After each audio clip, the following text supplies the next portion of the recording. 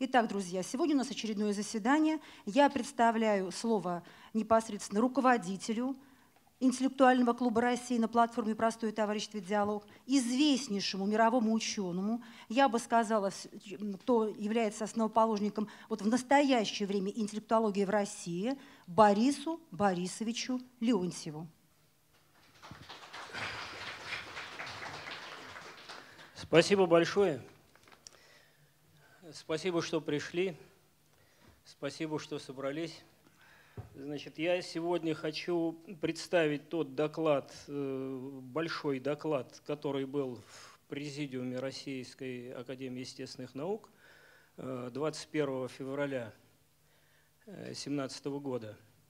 Значит, материал к этому докладу я готовил в конце 2016 года, и Минюст в журнале «Правовая информатика» издал ну, вот этот до, достаточно большой, емкий материал на 76 страницах, но это вы понимаете, что э, это журнальные страницы по два столбца, объем очень большой. Здесь больше 30 э, законов интеллектуальной природы описаны, э, больше, чем в книге. Книга писалась впоследствии по результатам – Э, часть этого доклада была опубликована в кратком виде вот в журнале или там, можно сказать, э, ежемесячник «Вестник интеллектуальной природы». Это май 2017 года. Вот здесь у меня два экземпляра. Кто-то захочет взять, может взять эти два экземпляра. Э, сейчас я просто представлю вам вкратце то, что говорилось тогда, три года назад. Э, речь э, об устаревании этого, этой информации, этого знания быть не может, потому что, ну, потому что конкуренции в этом вопросе не существует. То, что было три года назад, то, что сейчас происходит, это, как сказать, развитие. Правда, сейчас я и мои коллеги, которые этим занимаются, ушел значительно дальше. У нас еще появилось порядка, наверное, ну, 50, наверное, законов за это время. Они здесь не изложены, здесь все очень достаточно кратко. Если бы я излагал все законы, у нас бы э, ну, разговор бы затянулся, наверное, за полночь. Этого делать не надо. Моим последователем по докладу будет Станислав Владимирович Скородумов, профессор мои, с которым мы знакомы, ну, лет 30, наверное, лет 30. Станислав Владимирович вот как-то странно оказался моим учеником 30 лет назад, когда я читал лекции по оценке управления интеллектуальной собственности там, в торгово-промышленной палате и в Академии народного хозяйства. Он был моим слушателем, после этого мы стали с ним встречаться, и он в моем институте регистрировал объекты интеллектуальной собственности, созданные у них на кафедре, кафедра прикладной математики. Э, его ученики становились неоднократно призерами международных конкурсов, э, что уровень подготовки там очень высокий. И Станислав Владимирович по результатам изучения вот этой интеллектуальной природы, э, которую он видел и по книге, и вот по этому журналу, он э, разрабатывал свою программу, которую он вам сегодня представит. И эта программа, она чисто прикладная. Значит, из этой программы мы убрали мои слайды, которые повторяются у меня у него. Он, у него чисто прикладная работа, которая касается э, мониторинга показателей здоровья летного состава. Правильно? Состава. Да. Пилотов, штурманов, авиадиспетчеров, всех, кто обеспечивает безопасность полетов в российском и международном небе. Вот, ну, сейчас я, с вашего позволения, сяду, чтобы было мне виднее.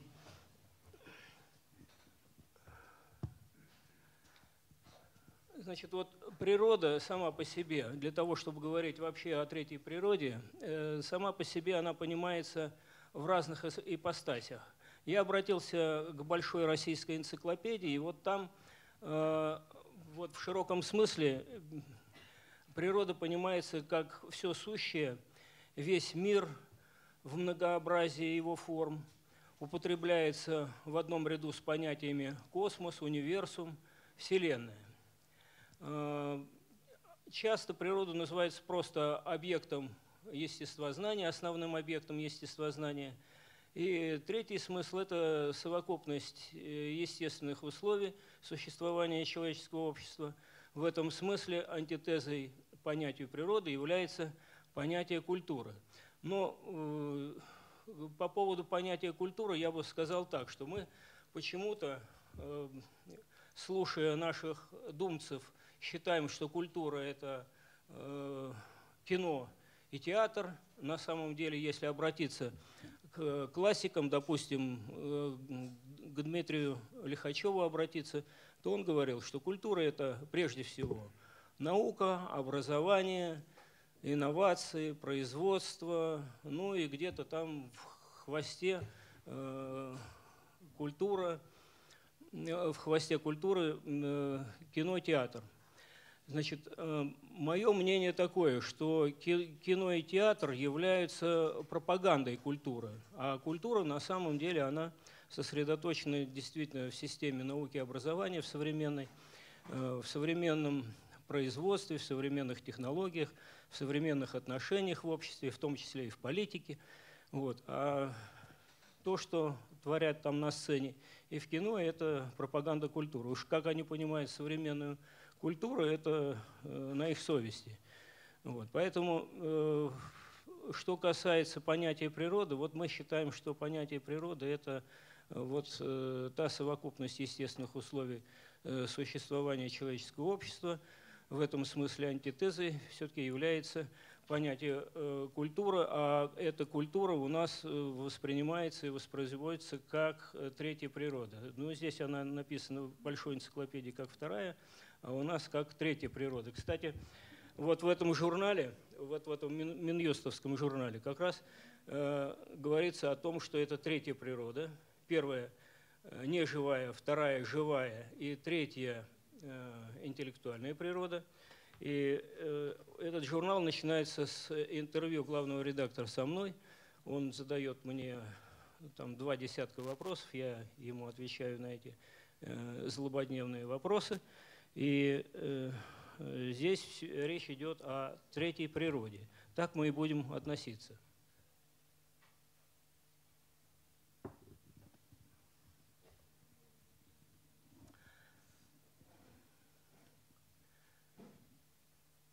Ну вот наша классификация такова, что неживая – это астрофизическая, геофизическая природа и микромир.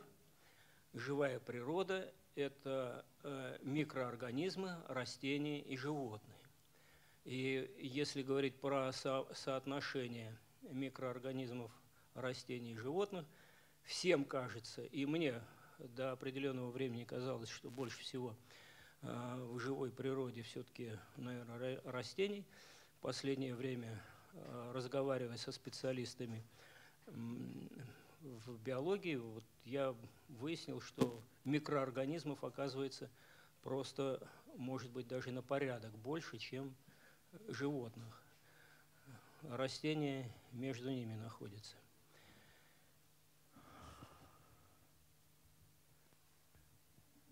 Основными признаками любой природы являются вот многообразие и иерархичность форм природы. Второе – адаптивность и системность взаимоотношений между формами. Третье – цикличность воспроизводства более адаптивных форм во времени и пространстве. И четвертое – самосохраняемость более адаптивных видов и форм всей эволюционирующей природы. При этом каждая из этих природ, из трех природ, эволюционирует. Эти критерии справедливы для всех трех видов. Ну вот основным законом все-таки мы вот в то время, по крайней мере, и может быть, даже и до сих пор, считаем все-таки закон всемирного тяготения, потому что э, энергетические центры, э, как основные массы, они э, привлекают в себе э, все элементы природы. Это происходит, по сути дела, в неживой природе во Вселенной. Вы видите, как, э, что происходит с нашей Вселенной э, вокруг черных дыр, э, как они поглощают и звездные системы, не говоря уж про планеты. В живой природе естественными такими центрами являются центры с богатой растительной и животной пищей. В конце концов, как мы считаем, переформатирование – живой природы на Земле происходило многократно за счет того, что э, в земную кору врезались, э, ну, по некоторым оценкам, раз в 10 тысяч лет, по другим 20-30 тысяч лет э, врезаются крупные астероиды, которые переформатируют биологический мир. И все крупные организмы, они постепенно исчезают. И таким образом вот такое переформатирование, по сути дела, по нашей опять-таки версии, привело к тому, что происходили после вот таких катастроф, глобальных катастроф, происходили э, э, зарождение вот этих залежей нефти, газа, сланцев. Ну, если говорить про сланцы, то э, сланцы, конечно, накопили, наверное, больше всего солнечной энергии за эм, за миллиард лет, потому что природа, по нашему мнению, живая природа возникла через миллиард лет после того, когда появилась Земля. Дальше вот здесь мы хотим показать вам вот такой график, где начало, это все 4,5 миллиарда лет, как известно, 4,6 миллиарда лет наша Земля существует, но это по данным разных ученых. И вот только последние, э, допустим, вот где-то 100 тысяч лет достаточно активно развивается э, интеллектуальная природа. Сланцевые, сланцы, они в свое время появились таким образом, по нашей оценке, что они насыщались тоже какими-то микро биологическими организмами, э, которые поглощают энергию Солнца, и таким образом вот, э, вот эта солнечная энергия, она, в общем-то, сосредоточена в сланцах. Конечно, есть и совершенно другие версии у ученых, э, что это чисто химические такие какие-то реакции, но это все на уровне гипотез.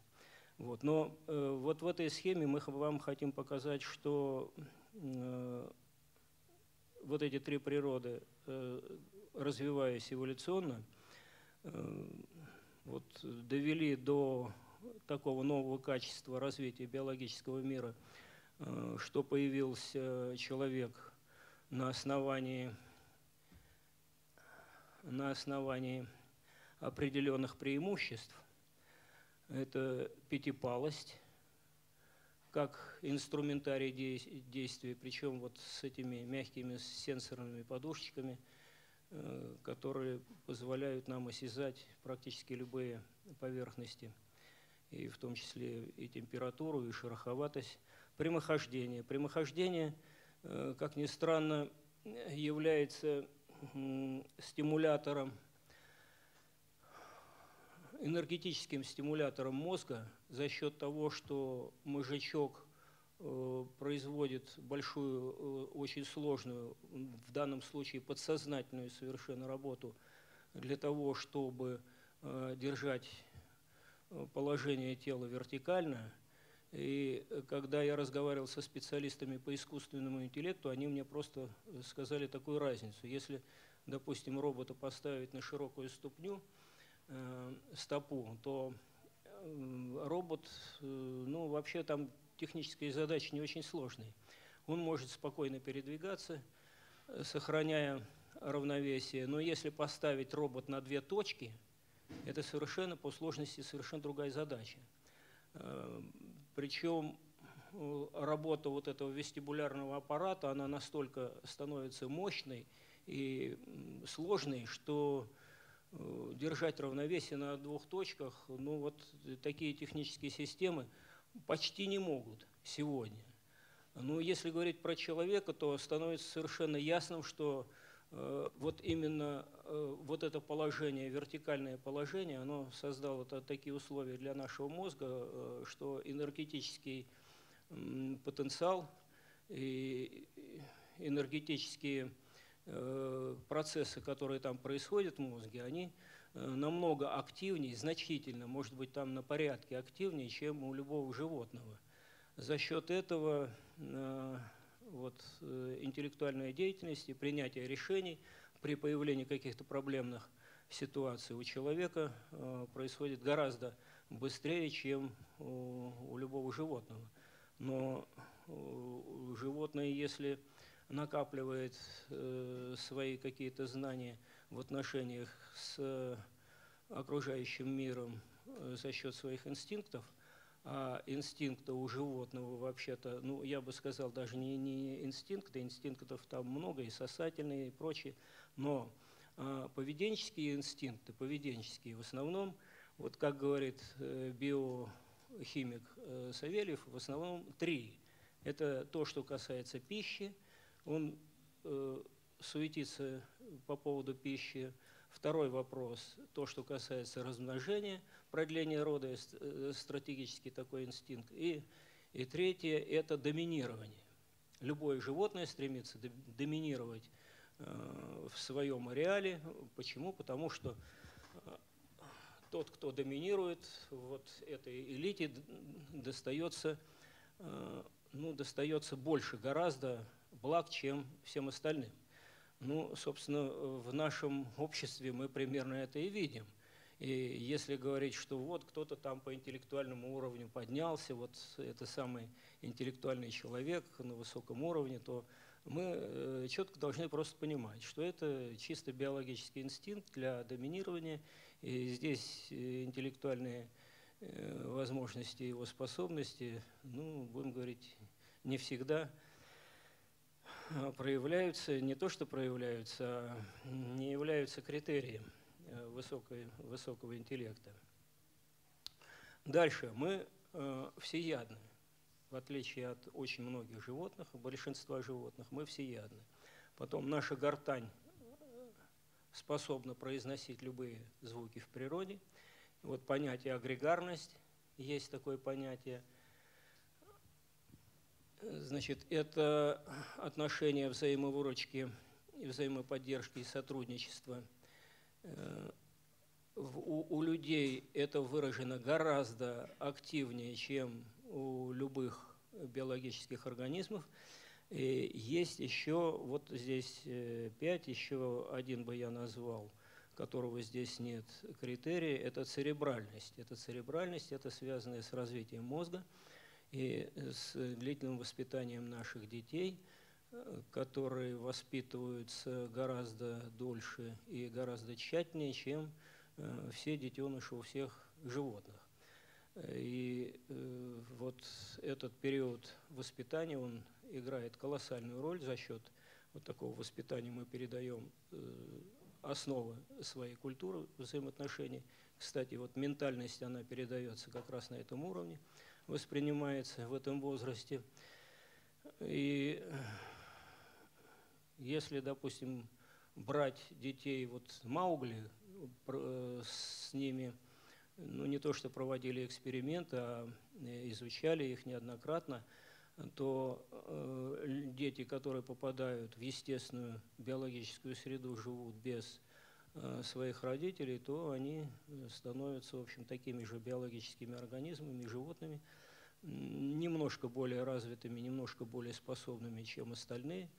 Вот, но э, говорить они не умеют, культуру они не воспринимают, и потом, когда их находят там, в шестилетнем, восьмилетнем возрасте и пытаются интегрировать э, в общество, то эта интеграция, в общем-то, Э, успехами не заканчивается. Э, там начинаются большие проблемы по их адаптации. Если говорить про то, как происходило по сути дела, эволюция и сама адаптация человека к живой и неживой природе, то вот наша версия такова, и наше полное убеждение, что все происходило через технические средства. Первичными техническими средствами были палка, камень, вода и огонь.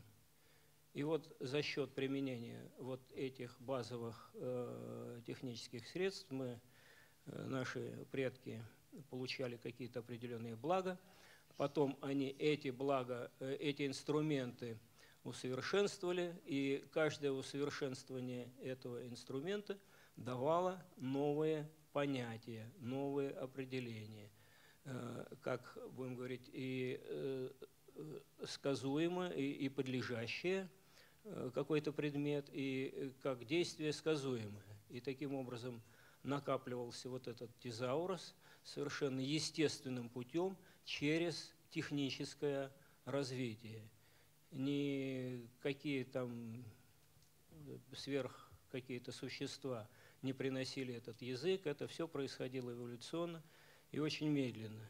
И когда э, говорят, что вот мой один знакомый, например, э, сказал, э, что он хочет написать книжку по поводу того, что вдруг появлялись какие-то гении, которые придумали там лук, стрелу, потом меч, топор, еще что-то. Это вот гении такие появлялись среди наших предков, и вот за счет этого скачкообразно вот так развивалась природа. Но э, с чем я категорически не согласен, потому что у Андрея Бергсона есть э, совершенно замечательное произведение, которое называется «Творческая эволюция», где он очень подробно, очень нудно, э, внимательно, очень тщательно на там, 200 страницах объясняет, как происходила эволюция э, э, биологических организмов, по, по сути, по вот,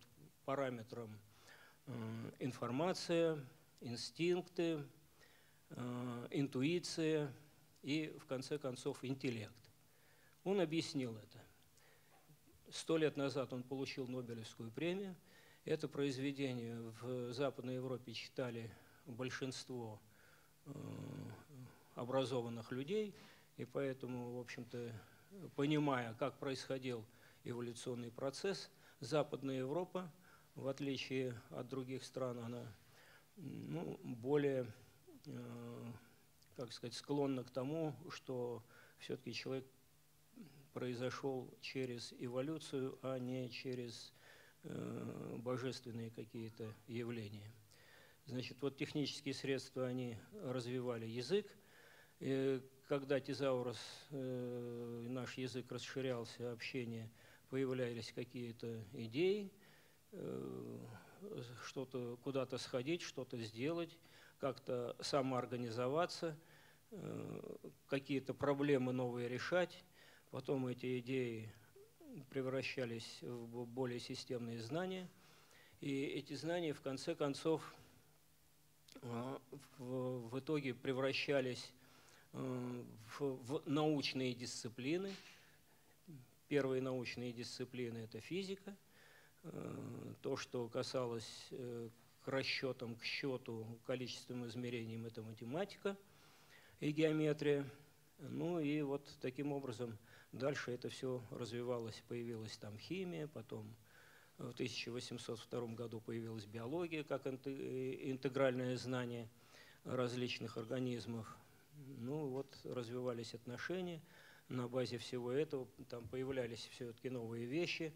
И как э, Вернадский сказал, в конце концов, вот все это, э, весь этот биологический мир оброс э, новой такой структурой, которая называется ноосфера – Ноосфера, по сути дела, это такая техническая среда, которая развивается с помощью человека, и все отношения в этой среде, которые развивает человек, они тоже относятся э, к понятию ноосферы.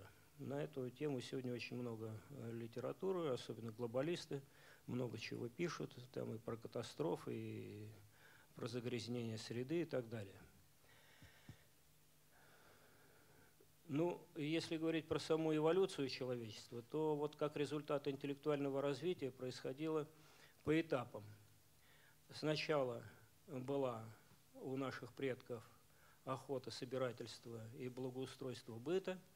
Потом следующий этап – это аграрно-скотоводческая революция. Потом э, люди стали развивать металлургические процессы и создавать керамические изделия, керамометаллургическая революция. Э, далее появилась промышленная революция, но здесь я вам хочу сказать сразу, что первая промышленная революция в Англии появилась после, через 50 лет после того, как появилась э, в Англии, в Англии э, такой закон монополии патентов – это 1628 год, появился такой нормативный документ. Э, почему это важно? Об этом нужно сказать, потому что, э, потому что через 50 лет э, стало многим предпринимателям понятно, что вкладывать большие свои средства, финансовые средства в развитие какого-то производства, это выгодно потому что монополия давалась на 14 лет. За 14 лет э, любой обладатель такой монополии может запрещать всем остальным использовать то же самое и э, получать все доходы, э, связанные с его вот этим техническим решением, которое было запатентовано. Причем первые патенты и в Англии, особенно там в Соединенных Штатах, они прежде всего, когда прежде как получить патент, э, изобретатель должен принести реальную модель, как это работает. Модель, допустим, ткацкого станка, как вот э, в э, музее, патентном музее в Соединенных Штатах сейчас можно увидеть огромное количество вот этих вот образцов.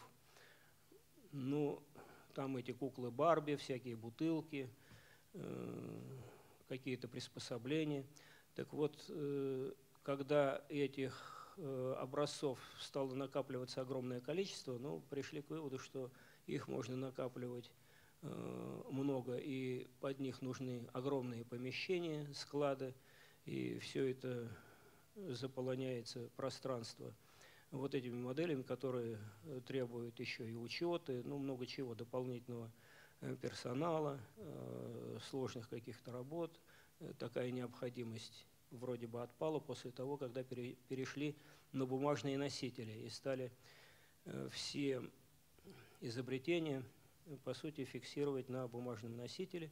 Появились патентные бюллетени, которые стали распространяться по всему миру. И э, вот на базе э, вот этих патентных исследований и бюллетеней мир изучал определенный уровень развития техники. После промышленной революции, а у нас она произошла, кстати сказать, в Российской Федерации в 1870 году, после появления крепостного права, 1861 э, год. До этого рынка труда в, российской, в России не было. И когда появился рынок труда, тогда началась промышленная революция.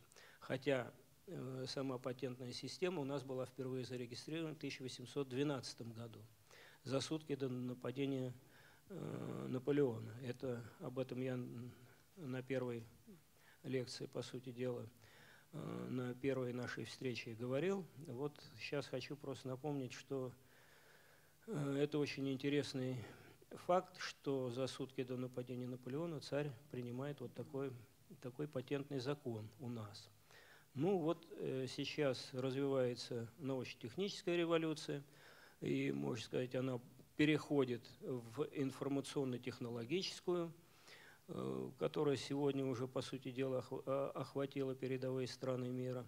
Ну, а вот последняя, нейрофизиологическая, это наш прогноз. Мы считаем, что э, следующая революция будет нейрофизиологическая, потому что все идет с внешнего мира вовнутрь нашего сознания, вот это развитие что своим сознанием, своим интеллектом мы начинаем заниматься все активнее, активнее и все более системно.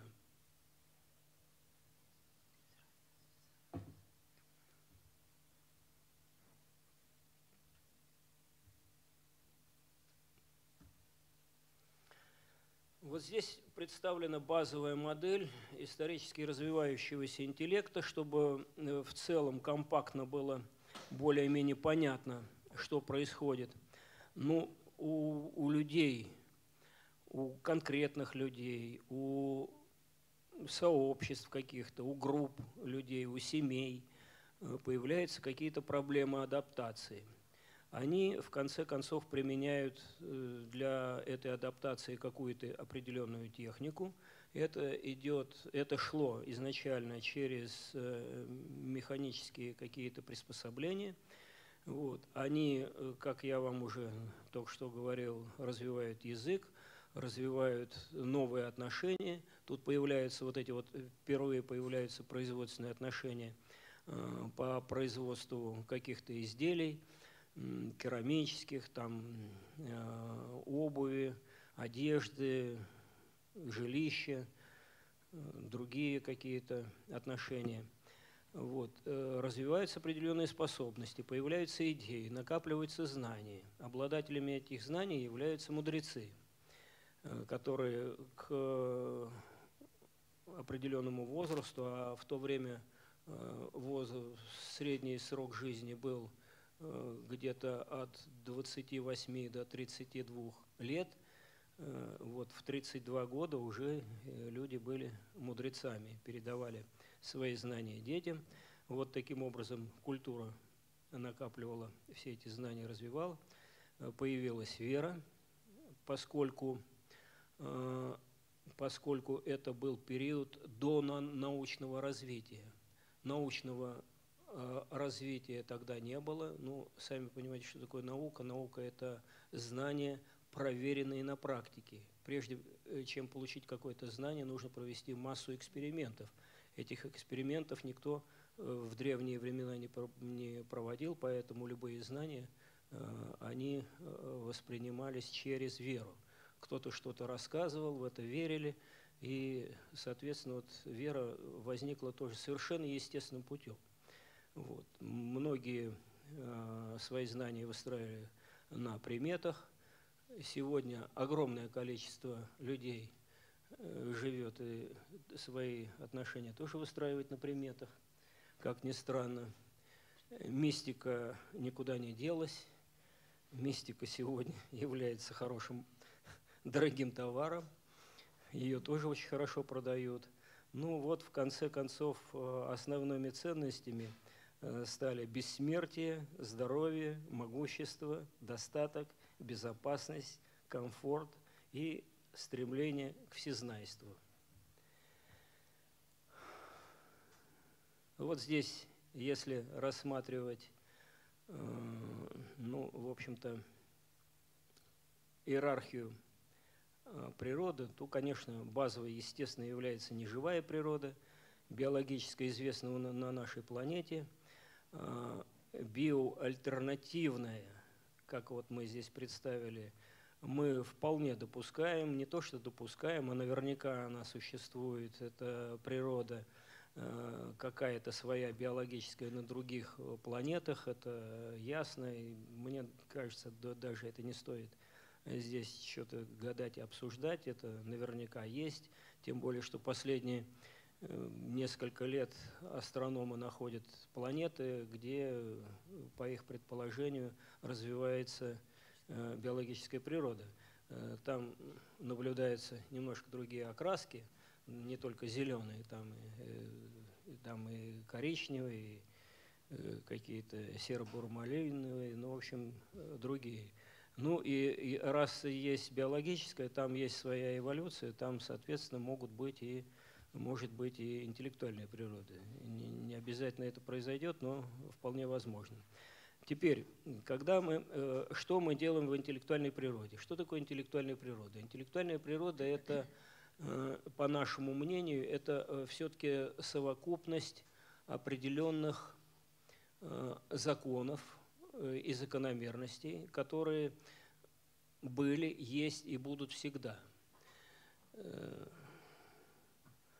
Ну, если говорить про все социальные знания, то в этих социальных знаниях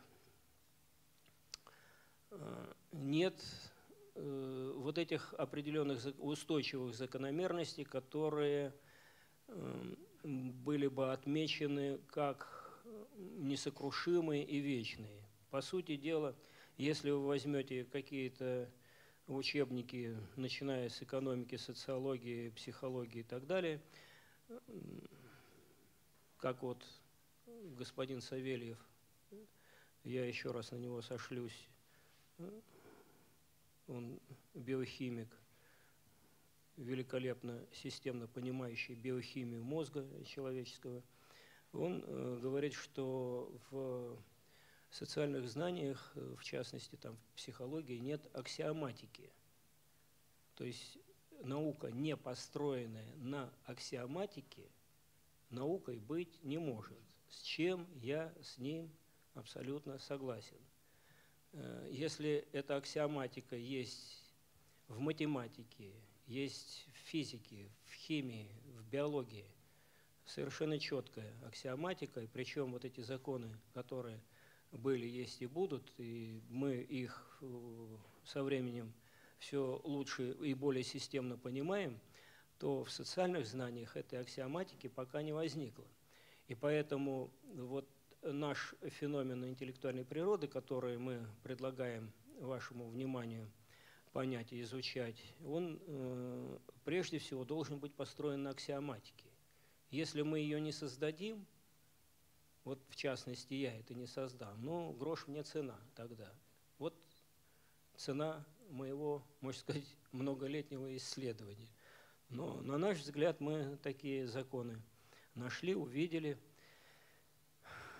у нас сейчас около ста этих законов, и дальше вот э, структуру вот этих законов мы вот рассматриваем именно вот в таком, в таком виде, что закон – это совокупность закономерностей А, Б, С, Д.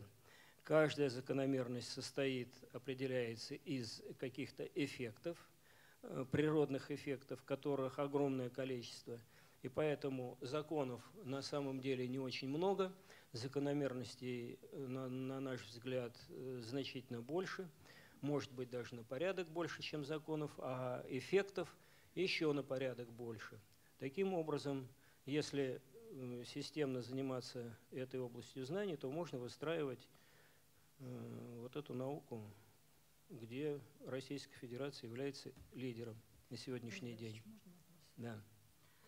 Прошу прощения, вот зал слушает так сухо, может быть, какие-то моменты. Я просто хочу внести некоторые поправки такие, знаете, чисто, может быть, женской логикой, но прошу простить, почему? Потому что мы говорим о социологии почему Россия была такой мощной, сильной структурой, всегда побеждала и э, выпрямляла ситуацию в мире, когда возникали какие-то проблемы. Вы помните, да, всегда защищая себя, защищала другие народы. Социология. Я хочу коснуться еще вот этого момента, что сегодня мы видим, благодаря интеллектуологии, что человек самое интересное, что в этом мире есть. То есть начиная с клетки, заканчивая человеком. То есть мы не знаем сами себя, изучаем больше себя, и, открыв... и сам же человек, открывая законы, понимает, что происходит, кто он, что он и так далее. И вот я хочу остановиться на очень таком важном моменте. Он, конечно, может быть частного порядка. А, социология, семья. То есть почему семья является ключевым таким форматом передачи интеллектуологии. Почему это выразилось потом сословие в России. И хочу остановиться на том, что даже, обращаю ваше внимание, в России сословные знания, э, навыки, э, исторические факты, э, те, которые были, передавались через правила семьи. Сейчас об этом, к сожалению, не принято говорить, это утеряно после 1917 года. Вот сейчас очень много показывают искусственных структур, они всегда проигрывают природным законам. Что я имею в виду? Когда создается искусственно-гражданское любое общество, которое хотело бы изменить ситуацию в мире, оно обречено на провал, 100%, потому что это общество не поддерживается законами природы. То есть можно долго давать деньги, вкладывать, но нет роста. И э, если мы говорим о естественном понимании этого процесса, естественном, то есть люди начинают развиваться, то есть люди начинают понимать эти процессы, люди начинают работать в этом направлении над собой. Поэтому вот я всегда своим студентам говорила, можно пройти любые тренинги, вы получаете прекрасные знания, тренинги личностного роста. Но вы не будете расти, вы получили лишь знания, и преподаватель вам дал инструмент, благодаря которому вы можете вырасти но работать вам придется. Так вот сейчас, почему мы и остановились тогда и стали это показывать, то есть интеллектуология, которая поделила людей, это страшно сказать, но есть, э, если в Российской империи э, толчком развития интеллектуологии были семьи, которые планировали, то есть, понимаете, семью планировали, об этом все не говорят. То есть семья была таким инструментом в России, когда э, то есть, случались какие-то кризисы, войны, в России были к этому готовы, 1912 год и так далее. И вот элита была, основная элита, составляющая служению России, не работу, а служению. То есть они могли, они так были готовы к любым критическим и любым катастрофам, что семья заменяла государство. То есть были юристы, священники, военные, женщины, которые исполняли свои обязанности. То есть таким образом, если локально государство государстве происходило что-то, любая семья могла выехать и остаться живой, потому что они работали, развивались и так далее. И есть э, очень интересный пример, великолепная книга, я потом э, поделюсь, когда известнейший ученый, э, биолог, а, значит, зная, что его семью могут расстрелять. Он оставил в Москве квартиру, забрал свою семью, и они уехали жить очень далеко, в общем-то, в Сибирь, э, в очень далекую деревню. И оказалось, что они спокойно пережили войну, то есть они работали, и дети, и все, и в семье организовали образование. Дети получили достойное образование, после войны они приехали сюда, в Москву, поступили в ведущие вузы. Это прекрасный вот формат семьи, то есть семья как основа, как формат развития интеллектуологии клетки каждого человека. И вот я почему хочу подвести к этой ситуации, очень важной. Потому что сегодня мы видим с вами, что люди перестали благополучно жить, перестали решать проблемы с помощью интеллекта, диалога, развития. То есть постоянно вот уже мир пришел к такому формату, почему у нас интеллектуальный клуб создан. Потому что наши ученые могут предложить инструменты решения многих проблем для всех для всех, то есть Россия и русские ученые наши, вот все, да, российские ученые, они могут предложить эти инструменты, потому что они пошли по развитию интеллектуологии дальше гораздо, дальше, чем все ученые мира. И они сегодня могут дать те инструменты благодаря вот изучению, исследованию. А что такое наука? Вы правильно сказали. Э, э, э, практика, критерий истины то, чего другие не могут себе позволить э, в мире. Вот. И, соответственно, э, вот сегодня, по сути дела, именно в России как государстве остались русские и Россия, которые могут предложить, благодаря историческому вековому опыту, благодаря людям, которые интеллектуалы остались в России, а это очень дорогой продукт, Борис Борисович, вы очень дорогой продукт для России, вас нужно охранять, беречь таких мужчин, как вы. Вот, соответственно, и вот такие люди могут изменить ситуацию полностью в мире. И вот страшно сказать, я вот, как говорится, все там многие сейчас поднимают тему э, вот этих вот неонацизма, неонацизм. То есть, э, когда люди работающие, двигающиеся, изучают самого человека и дают принципы человеку на развитие, интеллектуология, это очень серьезно. То есть, когда раскрываются возможности человека, чтобы вот все понимали, то есть человек был с камнем и там лопатой и так далее, да? а сейчас раскрываются возможности человека, которые когда-то он не умел. То есть развивается то, что не развивалось, дальше, сильнее и мощнее. Это интеллектуология, это вот э, вы сказали там нервно, физически, психологически, психиатрически и так далее, вот эти вот нюансы, это мощно. И э, что касается нюансов как раз эм, людей, которые отстают от этого формата, которые вот э, думают, раз таблетку выпил, похудел, вот как в фитнесе, да, а на самом деле, если ты работаешь над собой, управляешь собой, то у тебя получится, зная природные. То есть, чтобы люди просто понимали, насколько мир сейчас поделился. Люди, которые толкают интеллектуологию и хотят быть выше и развиваться, и люди, которые сейчас э, опускаются в пласт паразитизма. И сегодня в мире это видно страшно мощно. Это видно не в России, не во Франции, это видно просто в категории всего мира. Вот я правильно, вот чтобы сидящие понимали? Почти, почти. Да. Ко Поправьте меня. Кое, кое в чем поправлю. Я не очень дорогой продукт. Да. Ну, я имею в виду исторический продукт. Да. Я имею в виду это, чтобы вырасти, чтобы э, такие люди появлялись, это нужно несколько веков иметь э, очень сильный. Моя задача вообще сейчас вот зародить вот это направление и дать ему импульс, и э, остановить возможную, вероятную деградацию в обществе остановить. Потому что если мы будем понимать, как оно развивается по вектору, и по этому вектору мы будем развивать, ну, по крайней мере, наше русскоязычное население, что вполне вероятно, скорее всего. Хотя сейчас э, э, вот этим знанием очень заинтересовались китайцы. И сейчас, если бы не коронавирус, я бы уже там был и рассказывал вот, вот эти лекции, не, не здесь рассказывал, а, а там бы рассказывал. Но, э, да, во всяком случае, э, наша задача э, в том, чтобы вот это все запустить. На самом деле, когда говорят о бессмертии, ну это, я бы сказал, великое несчастье на самом деле. Когда люди вовремя не умирают, то они становятся тормозом их начинают содержать, и с ними справа, слева начинают тут вот, э, как сказать, их приспосабливать, оберегать. Это целая огромная инфраструктура, очень дорогая. А насколько она ценная? Да, ценность там маленькая, тем более, что э, как Менделеев, я его люблю, люблю вспоминать, он в 27 лет сказал, чтобы все профессора в 60 лет после 60 умирали. Это по, по Менделееву у нас с вами уже не должно быть. Да. Э, но потом, когда ему 60 стало, он уже пересмотрел свои взгляды. Э, он понял, что не все профессора одинаковые. Э, хотя действительно многие становятся тормозом, не дают развиваться науке. Именно они тормозят науку, не дают ей развиваться. Ну, и это происходит и сегодня. Так что Наша задача сейчас вот запустить, вот хотя бы вкратце вот это все изложить.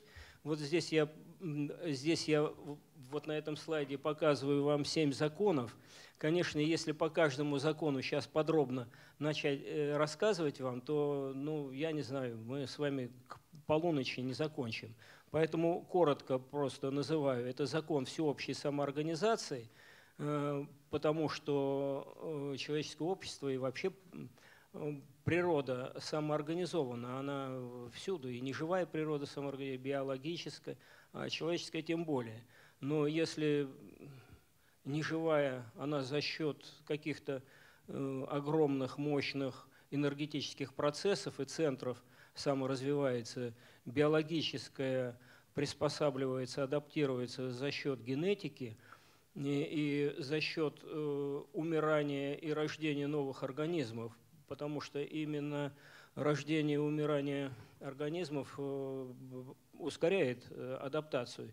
Именно поэтому вирусы самые, э, самые адаптируемые существа, самые адаптируемые существа, они, вот сейчас выясняется, что они даже при нулевой температуре, при минус 273 градуса и в абсолютном вакууме, они, оказывается, выживают, эти вирусы. Да?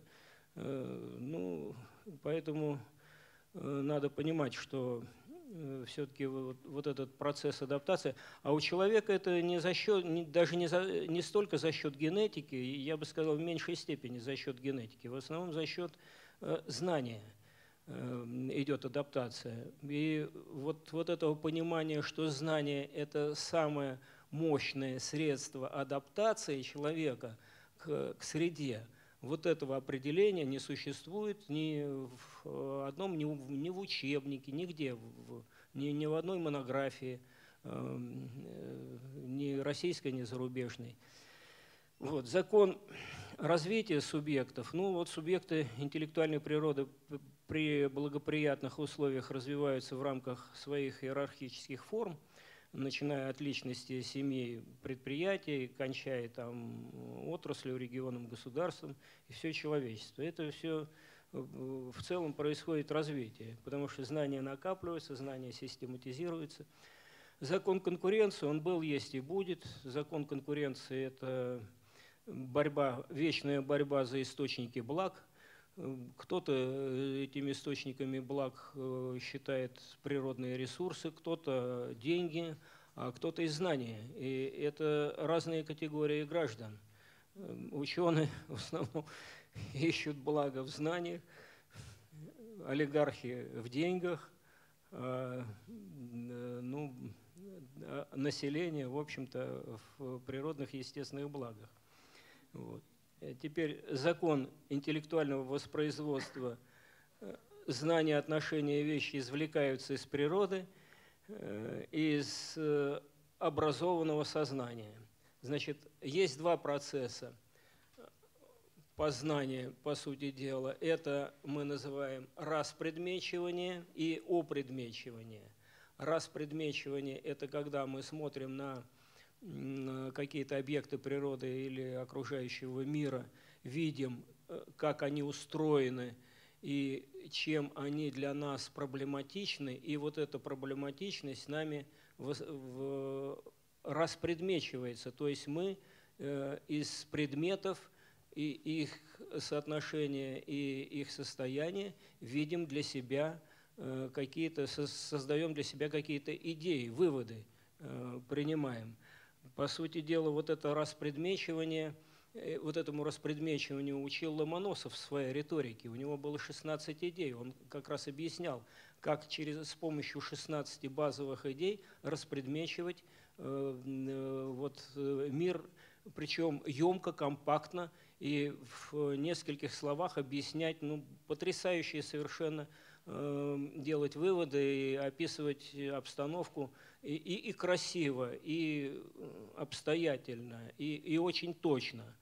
Э, и вот как раз за счет, я считаю, что вот за счет этой риторики, которую он тогда создал в 1747 году, он ее опубликовал, потом еще второй раз – Э, и потом во всех школах и лицеях изучали эту риторику. Вот он, он, по сути, и запустил плеяду гениев. Э, он сформировал вот эту структуру сознания, структуру понимания, э, способность распредмечивать вот эти сложнейшие ситуации в красивом, сочном, таком компактном выражении в русском языке.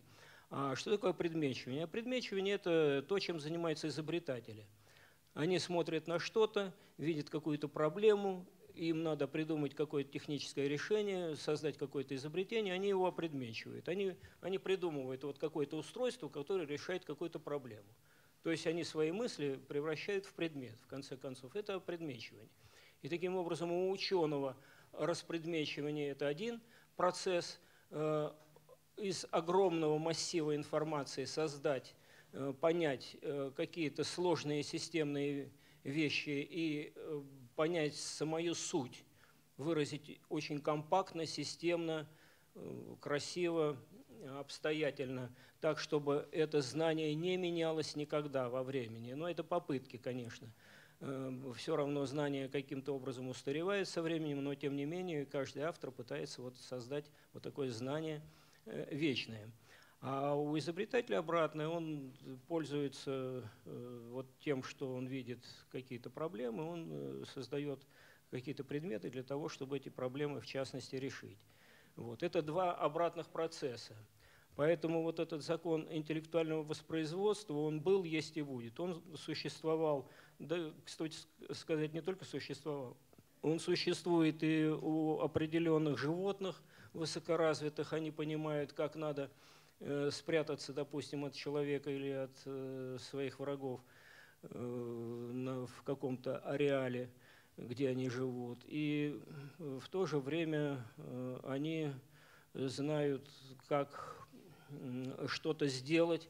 Иногда те же самые обезьяны или кто-то, или птицы с, с высоких склонов – бросают какие-то камни. Ну, казалось бы, какое отношение имеет, э, э, как сказать, обезьяна или там вот такое существо к интеллекту. А в элементарном виде, да, у них есть тоже вот этот интеллект, который позволяет понимать проблемы и э, для своей безопасности сохранять себя. Вот. Поэтому закон интеллектуального воспроизводства, он есть, законы иерархии научных Борис знаний. одну секундочку, закон интеллектуального производства, можно вопрос? То есть мы правильно понимаем, да, то есть опять женская логика, потому что то есть интеллектуальное э, воспроизводство, э, то есть, скажем так, семья социально имея знания, должна воспроизводить аналогичные интеллектуальные, скажем, кадры. И это естественным путем. Тогда это идет формат природный. Если искусственная семья, невозможно передать эти знания социальные, накопленные веками, значит, соответственно, будущего такого формата отсутствует. То есть в ней попадает вектор данных научных, скажем так, природных законов. У искусственной семьи совершенно другие задачи Ну, и я совершенно хочу... другие проблемы. Конечно, я просто хочу И поэтому просто воспроизводить полноценное э, поколение mm-hmm. они не в состоянии у искусственных семей. Поэтому все должно происходить естественным путем. Вот, то есть я хочу подтвердить, что только законы природы позволяют человеку развиваться самому и, воспроизведя лучшее потомство, которое забирает социальные навыки семьи, если она существует, и передача вот этих знаний, позволяет человеку интеллектуально развиваться, и вырастают кадры более мощные сильные. А вот эти знания, уже дальше вы будете рассказывать, я правильно понимаю, вот это для меня и есть вечность. То есть когда идет развитие, то есть люди многие понимают, что вечность — это вот смена сердца, почек, я живу вечно и не умираю. А для определенной категории людей вечность — это когда ты производишь более сильную категорию интеллектуального ресурса, ты даешь ему задел больше, он приобретает социальный опыт, который имели мы, включая биологию и включая вот все эти механизмы. И таким образом идет развитие самого человека еще мощнее. То есть сравнить интеллектуальный уровень людей с камнями и сегодняшних ученых, которые работают на таком, разница колоссальная. Это вот такой вектор, правильно? Да. Следующий закон – это закон иерархии научных знаний. Он нами опубликован 10 лет назад в журнале «Инновации», в журнале «Интеллектуальная собственность» э, позже – и вот э, в этом журнале есть, и, и в этой книжке есть. Э, значит, иерархия научных знаний э, совершенно четко выстраивается от неживой природы, это то есть знания неживой природы, закономерности неживой природы, это физика, химия, биология, астрономия, э, геология. И дальше живая природа, биология. И далее интеллектуальная природа.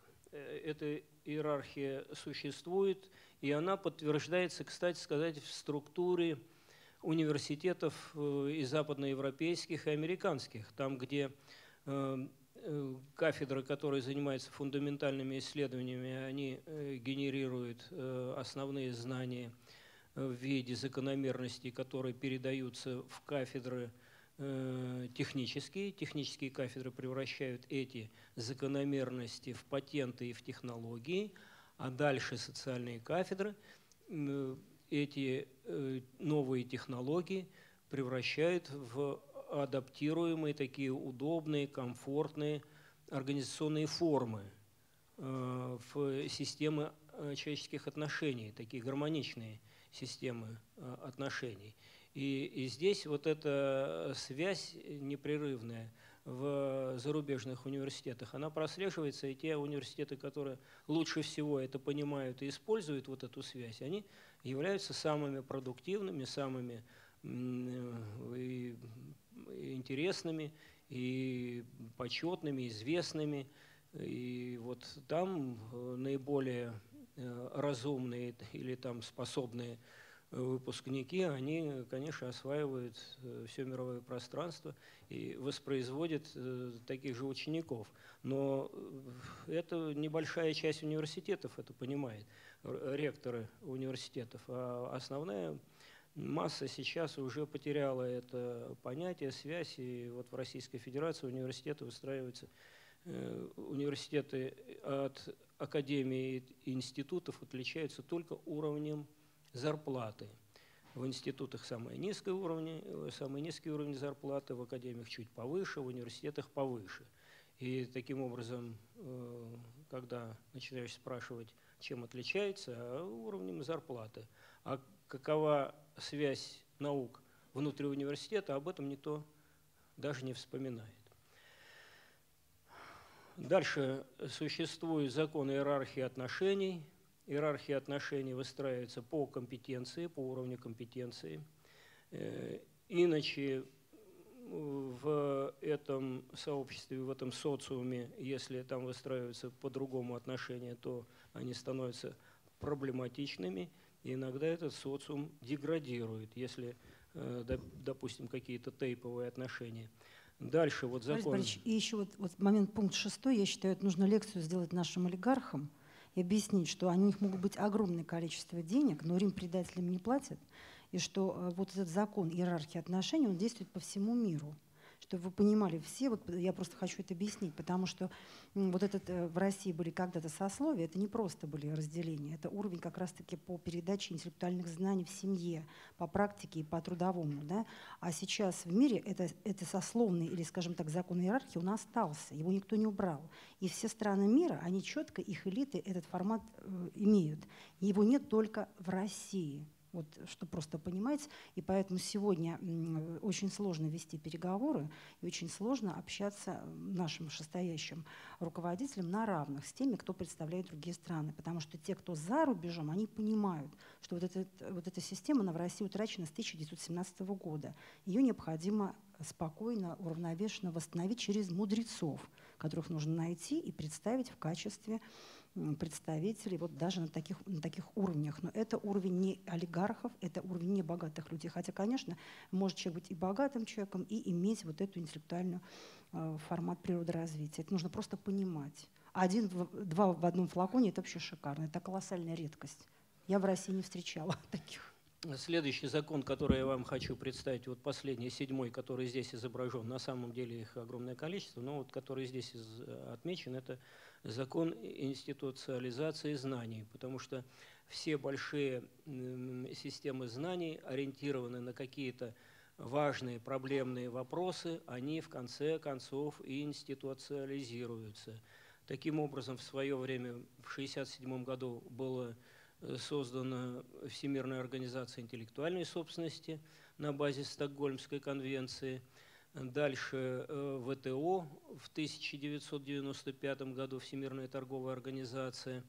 Эм, значит, э, известна также э, Всемирная организация или все, Всемирная организация труда, ВТО, потом организация, Всемирная организация здравоохранения, ВОЗ, есть такая организация – есть э, организации, которые занимаются авиационными полетами безопасностью, потому что это колоссальная проблема для всего мира. И, и по морскому праву есть э, такие институциализированные органы и системы. Поэтому э, все, в конце концов, все важное – вот эти вот важные сегменты знаний, они в конце концов обязательно институциализируются. Что такое институциализация? Это превращение этих базовых знаний в конкретные стандарты. Это сжатие информации, этих стандартов должно быть немного, эти положения в стандартах должны быть компактные, их должно быть немного. Ну, собственно, Конституция примерно это то же самое, такая же институциализация, которая должна содержать минимум информации и э, максимум доступного знания, понятного всему населению. Вот что такое Конституция. Борис Борисович, транснациональные корпорации, которые были созданы вот в период, особенно развития очень сильно шло с 50-х годов, куда не впускают наших очень богатых людей, которые даже уезжают за рубеж, им не дают вступление и введение туда капиталов. То есть это запрет такой идет, потому что их не считают интеллектуалами в большинстве своем. То есть они подтвердили статус интеллектуалов генетический, то есть природный. Можно считать, как вы, как вы думаете, транснациональные корпорации – как институты? Транснациональные корпорации, это, я, кстати сказать, до них дойду, в конце угу, концов. Это, это произведение э, исключительно из интеллектуальной собственности, выращенной, э, можно сказать, из подвала, из какой-то лаборатории, из гаража до всемирного уровня, как это делали и э, Microsoft, Microsoft появилась, и Apple – Э, таким образом они возникли. Э, это произведение как раз э, исключительно на базе интеллектуальной собственности. Ну вот сам институт, вот здесь вкратце вам показано, 1700, 1474 год, это первые патентные привилегии Парта Венециана, Англия, 1628 год, положение о монополиях. Впервые в Англии тогда от, отказались, это первая страна в мире, где отказались от всех монополий, которые монарх предоставлял своим подданным. Э, обычно, э, можно сказать, своим фаворитам монархи дарили, всегда дарили большое количество монополий. Не, не платить налоги за то, за все, э, за что-то еще. И Англия была первым государством, которое отказалось от всех монополий, кроме монополий на изобретение, кроме патентных монополий. И после э, этого, вот 1790 год, первый государственный закон по патентам, изобретениям и авторскому праву. Это было э, США, потом через год, через полгода Франция, и вот 1812 год Россия. А дальше, когда э, с одними и теми же изобретениями или э, сворованными изобретениями из одних стран предприниматели появлялись на международных выставках, начались конфликты на международном уровне. И послы, собираясь э, вместе на международных, э, создали такие международные конвенции, которые запрещали бы э, вот такое воровство этих изобретений из одних стран в другие, переходы, перенесения этих изобретений. До сих пор это не наказывалось, после этого стали наказывать за несанкционированное использование вот первая Парижская конвенция 1883 года э, по промышленной собственности. Что относится к промышленной собственности? Патенты на изобретение, полезные модели, промышленные образцы и товарные знаки. И сюда же в качестве недобросовестной конкуренции, в разделе недобросовестной конкуренции здесь отмечены ноу-хау. И вот, и э, вот это коммерческие, коммерческие секреты – это все промышленная собственность. Это все, что касается науки и промышленности. Э, дальше э, возникла через три года Бернская конвенция по авторскому праву. Э, к авторскому праву стали относить произведения науки, литературы, искусства. Ну, в основном литература и искусство. Значит, появилось слово копирайт, английское слово – Значит, нарушение прав возникало по копирайту тогда, когда накладывались одни тексты на другие и полное совпадение этих текстов. Э, хочу э, сразу ваше обратить внимание, что если мы берем чужое произведение, переписываем другими словами, эту же идею, эту же сцену, эту же сюжет переписываем другими словами, это считается новым авторским произведением, потому что, накладывая один текст на другой, там э, не наблюдается полное копирование. И э, поэтому э, тот же самый Шекспир, который заимствовал все сюжеты своих новелл во французских, то есть в итальянских новеллах эпохи Возрождения, он ну, по-своему написал, по-своему персонажей назвал, э, его не считают, э, как сказать, воришкой в этом плане, считают, да, компилятором не считают. Вот. Он считается гением, поскольку э, все это для своей нации произведение адаптировал и, в общем-то, эти произведения, их сегодня никто не имеет права присваивать, потому что авторство, авторское право, авторство, авторство, оно не передается. Все сделки по передаче авторства кому-либо от одного автора к другому – Э, все эти сделки считаются во всем мире ничтожными с 1886 года.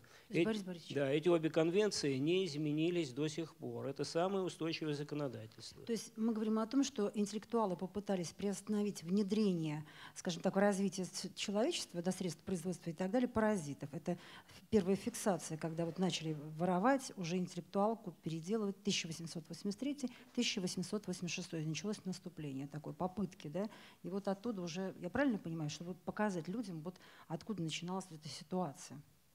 Вся мировая. Да, в 1967 году решили эти конвенции объединить, и появились еще дополнительные конвенции, там э, и Мадридское соглашение по товарным знакам, там еще другие соглашения. И все это вот обрастало весь институт интеллектуальной собственности. Собственно, понятие само интеллектуальная собственность – это французское понятие, заимствованное из э, французской юриспруденции. оно стало всеобщим, всемирным вот с 1967 года. Э, примерно через 3-4 года после 1967 года впервые появились в отдельных странах, прежде всего Западной Европы и США, появились нематериальные активы. До этого нематериальных активов вообще не существовало ни в каких бухгалтериях, несмотря на то, что бухгалтерская э, там теория, она развивается с 1560 года. Вот. И э, тем не менее нематериальные активы появились совсем недавно. После появления нематериальных активов появилось понятие инновации. До этого тоже этих понятий не было. Поэтому, когда сегодня инновации ставят э, впереди э, всего, да, а считают, что да, там интеллектуальная собственность роли не играет, то сильно заблуждаются, потому что именно интеллектуальная собственность породила инновации. И если там нет интеллектуальной собственности, то инноваций никаких быть не может в принципе. Э, вот этот, э, как сказать, э, параноидальный бред всякие инновациями, которые называют иногда, они к инновациям не имеют никакого отношения. Хотя говорят, вот ребенок там творчески активный, ну ребенок может любую ахинею написать, нарисовать и, и что-то сказать, сделать. Без базовых знаний, без системных знаний создать никакую инновацию, полноценную, тем более полезную для общества, в принципе невозможно. Вот. И вот э, именно Всемирная организация интеллектуальной собственности, которая, э, когда э, я читал этот доклад, было 184 государства, сейчас 190. Вот. И в 1995 году именно ВАИС породила ВТО, Всемирную торговую организацию, потому что там есть соглашение ТРИПС, это соглашение о торговых аспектах – прав на интеллектуальную собственность. 1995 год. Поэтому э, нужно понимать э, эволюцию развития вот этого процесса, и э, все вот эти инновационные отношения, они вытекают вот от 1474, сейчас стало известно, что даже в 1420 году сейчас обнаружен первый нормативный документ в Италии по интеллектуальной собственности. Ну вот в 2012 Россия вступила в ВТО. Борис Борисович, а, можно вопрос? Да. Как раз на вашу тему. Вот сейчас западная пресса, в частности журнал «Таймс», значит, Грету Туберг, Грету Туберг э, назвал человеком года. И, наверное, все в курсе, особенно те, кто связан с интеллектуальной собственностью, что Грета э, старается получить сейчас авторские права, патент на собственное имя. Вот прошу вас прокомментировать, что это такое. Она считает, что это можно использовать в коммерческих интересах э, разными э, фирмами, предпринимателями. Вот как удастся Гретте защитить свое имя в качестве... Да. Ну, патенты выдаются исключительно технические решения, что Грета Туборг может зафиксировать. Я, откровенно говоря, не знаю, какие-то принципы экологической защиты, когда они все высказаны, все известны. Ну, вообще, сам, на мой взгляд, сам феномен этой Греты Туборг состоит в том, что э, Запад просто подошел к определенному тупику, э, начинается всеобщий кризис, и и требуется полное переформатирование. Вот мы, кстати, с вами говорили по, о, о законе ограничения, да, э, такого отсечения лишнего. Мы в, в заявке, да, отсеч, отсечение лишнего, да. Вот этот закон отсечения лишнего, он работает на самом деле на него никто никогда не обращает внимания, но он работает постоянно. А, значит, э, осечением лишней, э, лишнего занимаются всегда элиты. Кого они э, убирают, отсекают? Они отсекают всех, кого считают лишними. Поэтому, когда наши, наши руководители считают, что они, понравившись Соединенным Штатам, и наладив с ними какие-то дружеские отношения, торговые и так далее, все равно они будут вторым сортом. Все равно будут вторым сортом. Там просто это э, обречение нашей нации, ну, как сказать, это катастрофа для нашей нации, если, если это, а это, э, именно это и происходит пока до сих пор, потому что э, самостоятельные экономики они не создают, хотя есть возможности, и в самостоятельное плавание не, не уходят. Вот поэтому здесь отсечение лишнего работает таким образом, что Соединенные Штаты, как выясняется, сейчас э, через э, прививочные вот эти акции, они, э, как сказать, тихо-тихо, плавно уничтожают африканский континент. И все слаборазвитые нации, которым якобы на безвозмездной основе помогают там со своими вакцинами, какими-то прививками, Э, какими-то лекарствами и так далее. Вот это и есть отсечение лишнего, потому что совершенно четко э, им понятно, э, золотой миллиард они уже продекларировали и сказали, что золотой миллиард останется, остальные им не нужны. Это и происходит. И поэтому вот все, кто с ними не согласны, они объявляют врагами, там и Северная Корея, и, там, и Китай, и Россия и так далее. Вот вот эти нации, по их мнению, они вслух никогда не говорят, но должны куда-то исчезнуть. Вот. Это отсечение лишнего – это э, очень серьезный вопрос. Он происходит везде и всюду. Он происходит в коммерции, в экономике – он происходит на каждом предприятии, э, когда э, сокращают ресурсы людей и так далее. Это все отсечение лишнего. Он происходит даже в семьях, внутри семьи. Происходит, когда э, возникают какие-то проблемные ситуации в семье, и семья там распадается или появляются такие неблаговидные личности в этой семье. Но это, это, это всеобщий закон. Просто про него никто никогда не говорил, но на боятся, самом деле... Да. Боятся говорить. Ну, не, не бояться, это еще не сформулировано, да. А что касается Грета Туберг, она просто, на мой взгляд, переформатирует, пытается переформатировать, да, вот, словами ребенка, глаголит истина, ну, это ну, все понятно. Пытаются обмануть да, природу Бога, да? Да, но она не пытается, просто им это нужные акции. Кстати сказать, э, вот эти однополые браки, это тоже очень нужная акция. Вот кто-то думает, вот это глупость какая-то. Это не глупость.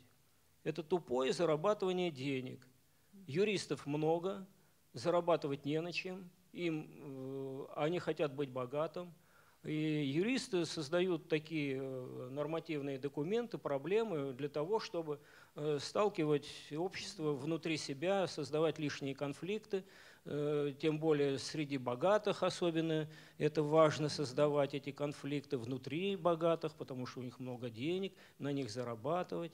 Сейчас э, узкая специализация вводится тоже, не тоже вводится, она культивируется узкая специализация для того, чтобы опять-таки люди э, не имели понятия, понимания своих проблем и понятия, где они живут и как они живут, и ну, Борис у них проблемы появлялись, и, и в результате в результате они бы обращались к психологам, к юристам. То есть пласт э, людей, да, которые да. ничего не производят, это... а ведут услугу как бы в формате вот, э, времени. Я просто к примеру хочу сказать, мы вот обнаружили сейчас, простое товарищество «Диалог», что у нас уже вот город Ногинск, вот реальный фактор, пожалуйста. Судья принимает одно решение в пользу ответчика, а другая судья принимает решение в пользу истца. И начинается бурная война с участием приставов, правоохранительных органов и так далее. Хотя яйца выеденного не стоит. Мы пишем в Мособлсуд, что, друзья, дайте квалификационную оценку действиям ваших судей, и представитель Мособлсуда говорит, извините, мы их не можем э, дать характеристику, идите выше. То есть вот уже на уровне в России вот таком уже вот эта вот проблема опустилась. И я хочу еще добавить очень важный момент, спасибо, вопрос великолепный, это по поводу ювеналки. Все переживают, вот ювеналка, ювеналка это искусственный также инструмент, попытка найти бессмертие. То есть люди, которые сейчас находятся и пытаются искать бессмертие, они ищут бессмертие вообще не там, где находятся. То есть в связи с тем, что закон отсечения, он очень жесткий, это природный закон. Они ищут сейчас инструменты объединения, скажем так, ну, биологических разных видов, чтобы люди, они продолжали жить. А природа их отсекает. Это жестко. То есть не люди, не люди. Природа отсекает. И поэтому о законе отсечения все боятся говорить, особенно элиты. И вот э, я хочу просто сказать, что меня тоже, вот прошу прощения, всегда возмущает, что у нас в Государственной Думе сидят женщины, которые решают судьбы капитала, материала, материнского капитала и так далее. Даже вот Пушкина, да, она недавно выступала там, побои в семье и так далее. То есть женщина, не родив ни одного ребенка, то есть она решает судьбы тысячи женщин. И я хочу сказать, что раньше в России до 17 года, просто многие этого не знают, почему убрали сословие, да, женщина не имела права участвовать в семейном совете. Я с этим полностью согласна. Хотя я понимаю, что мне сейчас там, может, меня будут кидать камни другие женщины. Женщина не имела права принимать решения в семейном совете, минимум, если не родила двух сыновей. То есть два сына позволяло ей право принимать решение, а, какую профессию выберет внук, брат, сват. Это решалось на семейном совете. Не было такого, что я хочу петь, плясать. Причем семья имела сословное удержание развития интеллектуала, интеллектуалки через детей, а вот это и есть форматы э, развития, это и есть форматы как раз бессмертия, которые передаются через социальные знания семьи.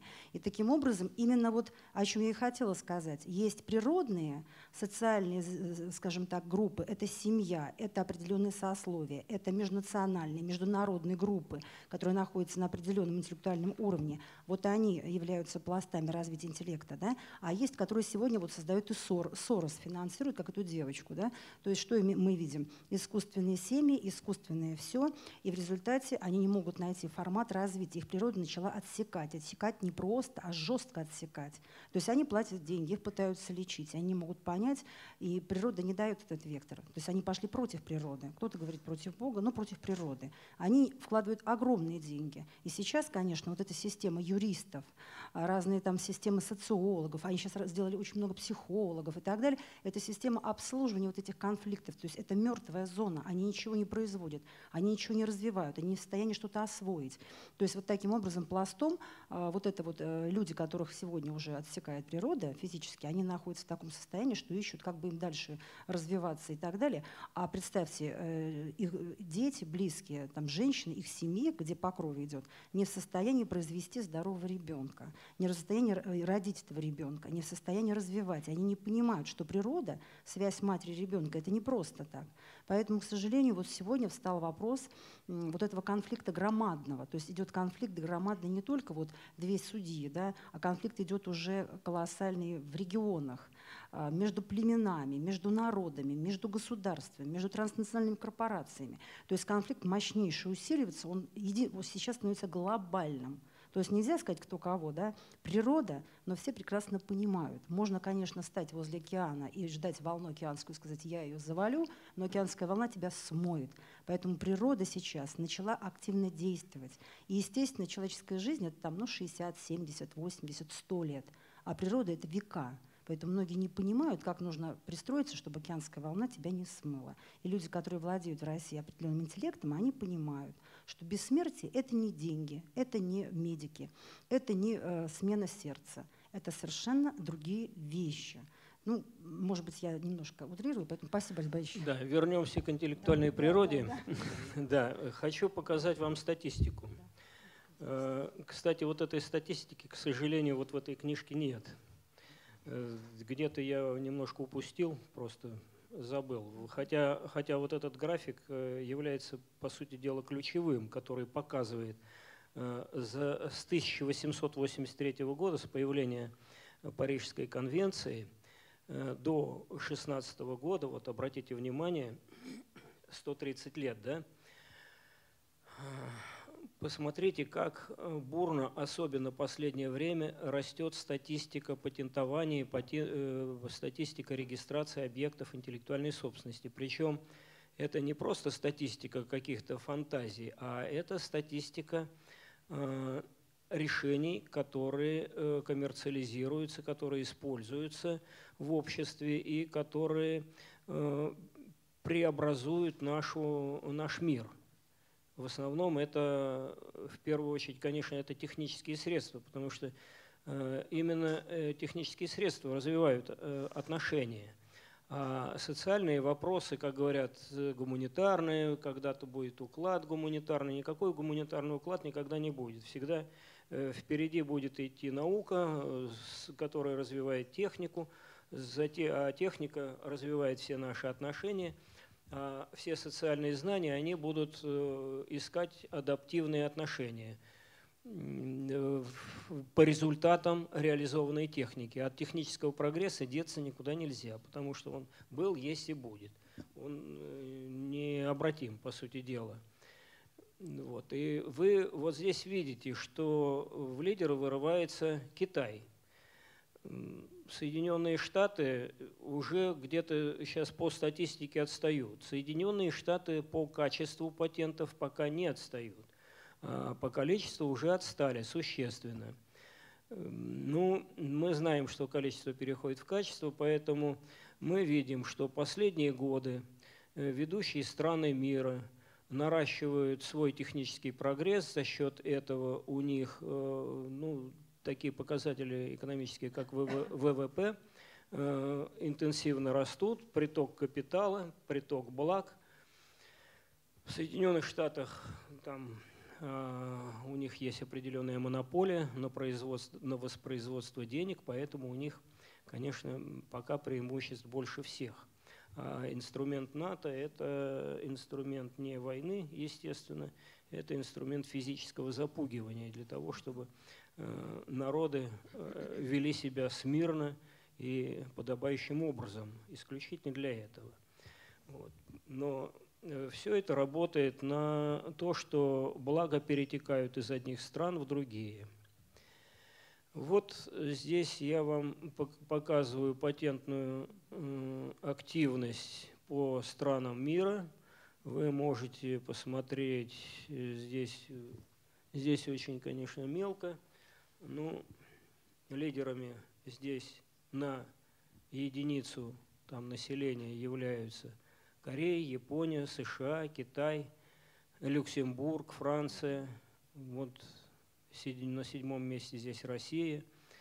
Значит, ну, конечно, здесь надо нам совершенно по-другому принимать решения, развивать нашу инновационную политику и отношения в экономике.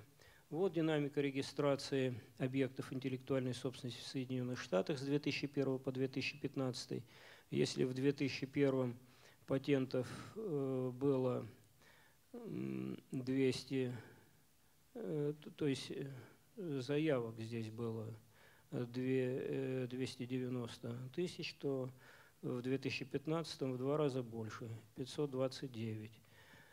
Товарных знаков 460 тысяч, значит, а в 2015 932 тысячи. Ну, вот промышленных образцов. А что такое промышленный образец? Промышленный образец – это дизайн, промышленный дизайн. Это мебель, обувь, э, какие-то флаконы для духов и прочее. Это все промышленный дизайн. Вы, вы видите бурный рост везде. Вот здесь э, статистика Китая. Она более впечатляющая, чем в Соединенных Штатах. Э, тоже бурный рост. Очень активно растет последние 15 лет. Вот в России. В России, к сожалению, ситуация более грустная, чем э, в ведущих странах. И сейчас Россия на порядок имеет худшую статистику, чем те же Китай и Соединенные Штаты. Вот э, коммерциализация патентов в Российской Федерации. Это данные Э, консалтинговые фирмы, э, агентство Росбал. Э, они эту диаграмму выстроили, мы просто позаимствовали с 1992 начала нашей перестройки или переход на рыночные отношения. 2012 год.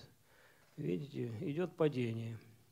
В 2002-2003 и четвертом был максимум.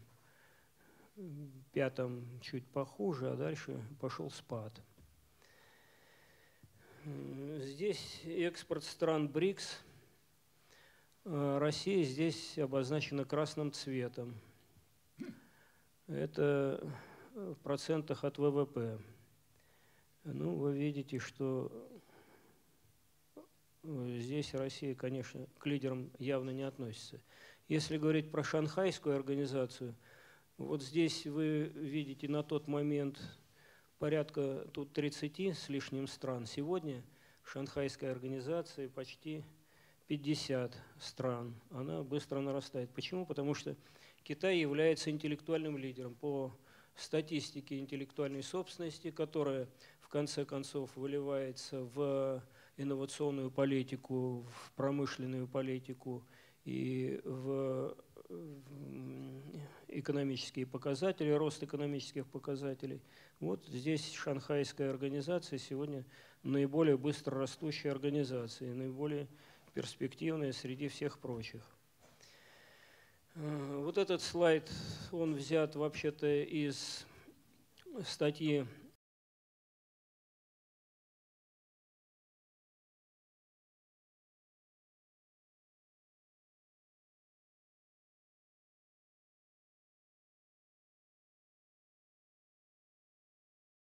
в свое время и вот эти длинные волны определил Кондратьев, Николай Кондратьев. И, по, и вот эти вот волны, они, по сути дела, э, возникают от научных открытий или каких-то э, пионерных, э, супер важных изобретений, ну, например, открытие радио, телевидения, ну, не открытие, а это изобретение радио, телевидения, потому что там Эффекты, конечно, тоже были определенно открыты, но в основном это изобретения, которые стали бурно развиваться.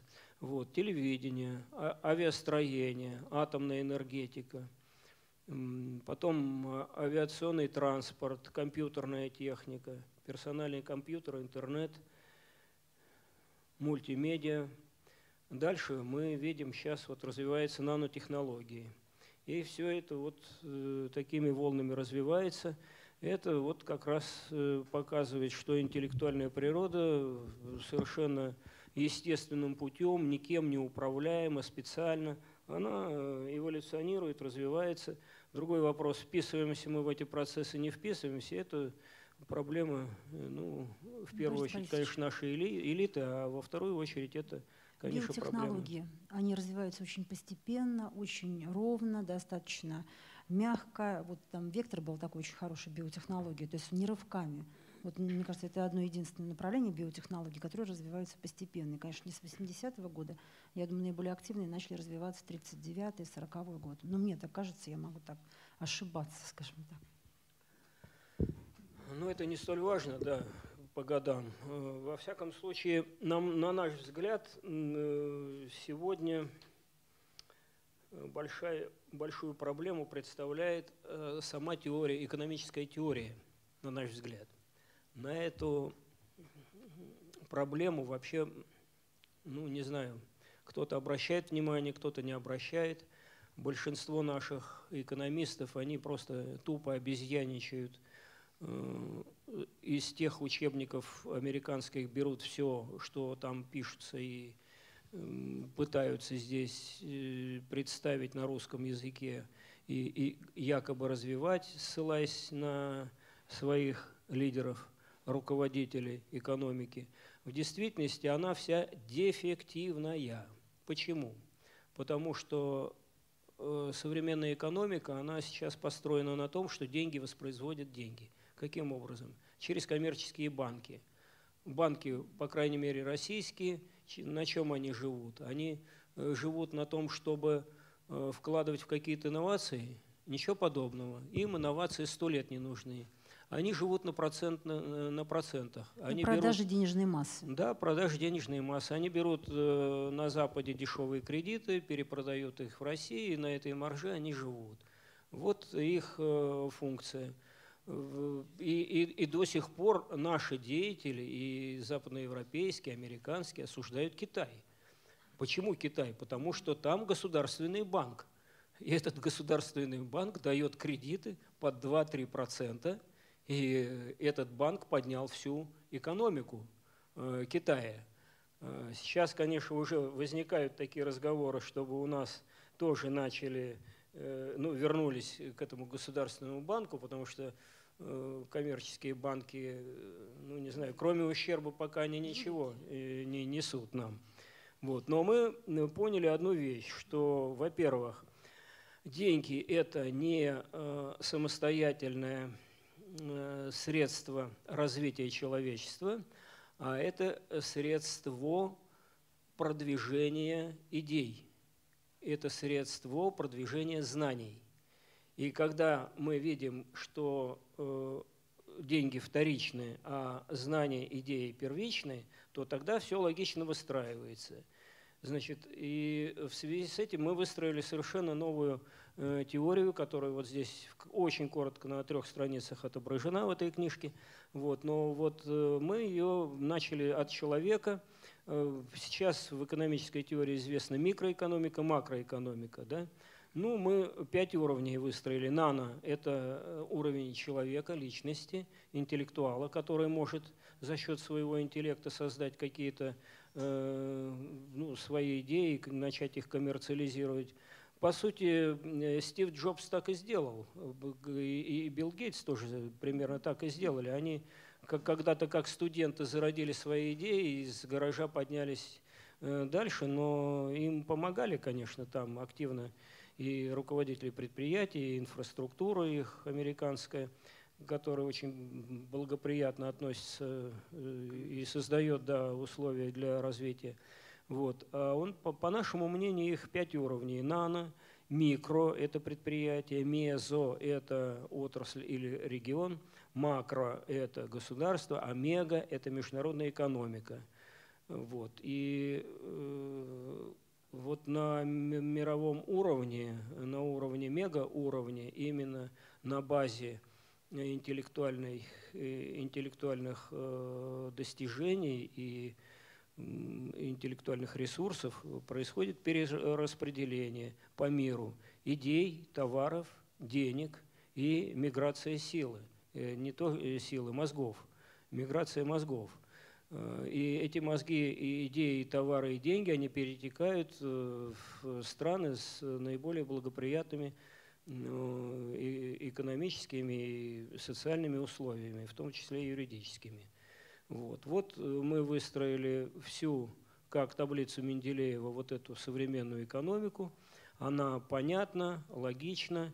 Значит, здесь мы отразили те же самые институциональные формы, начиная с Института частного права, Международная э, организация труда, Всемирная, это по хронологии, как это возникало, по, по, по эволюции.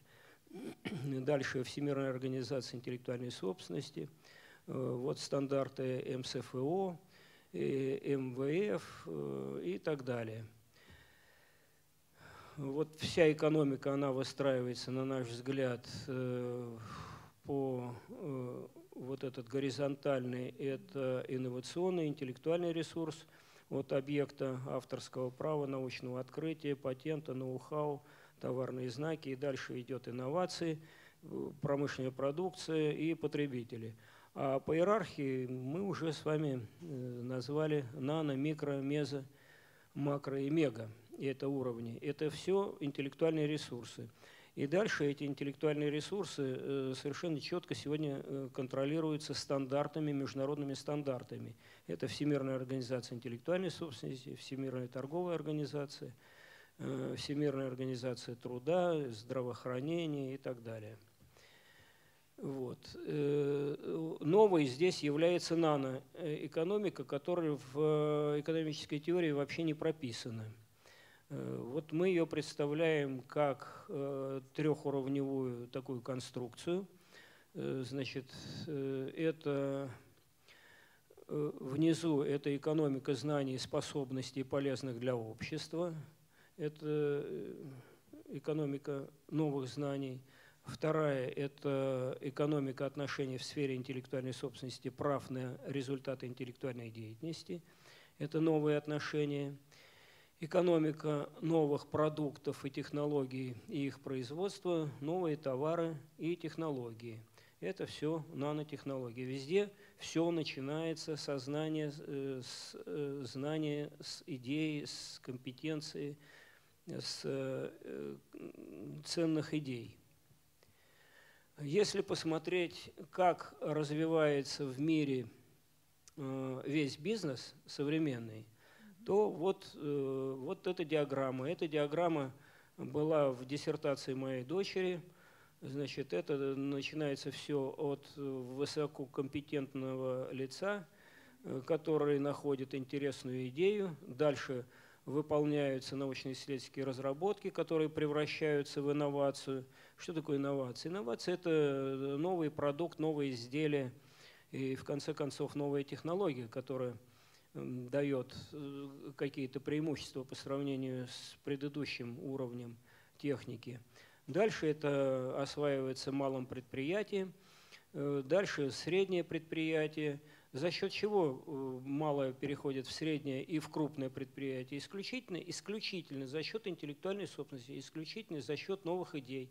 Когда появляются новые идеи, то появляется конкурентное преимущество, появляются э, дополнительные доходы, дополнительные там прибыли, и за счет этого э, развивается бизнес.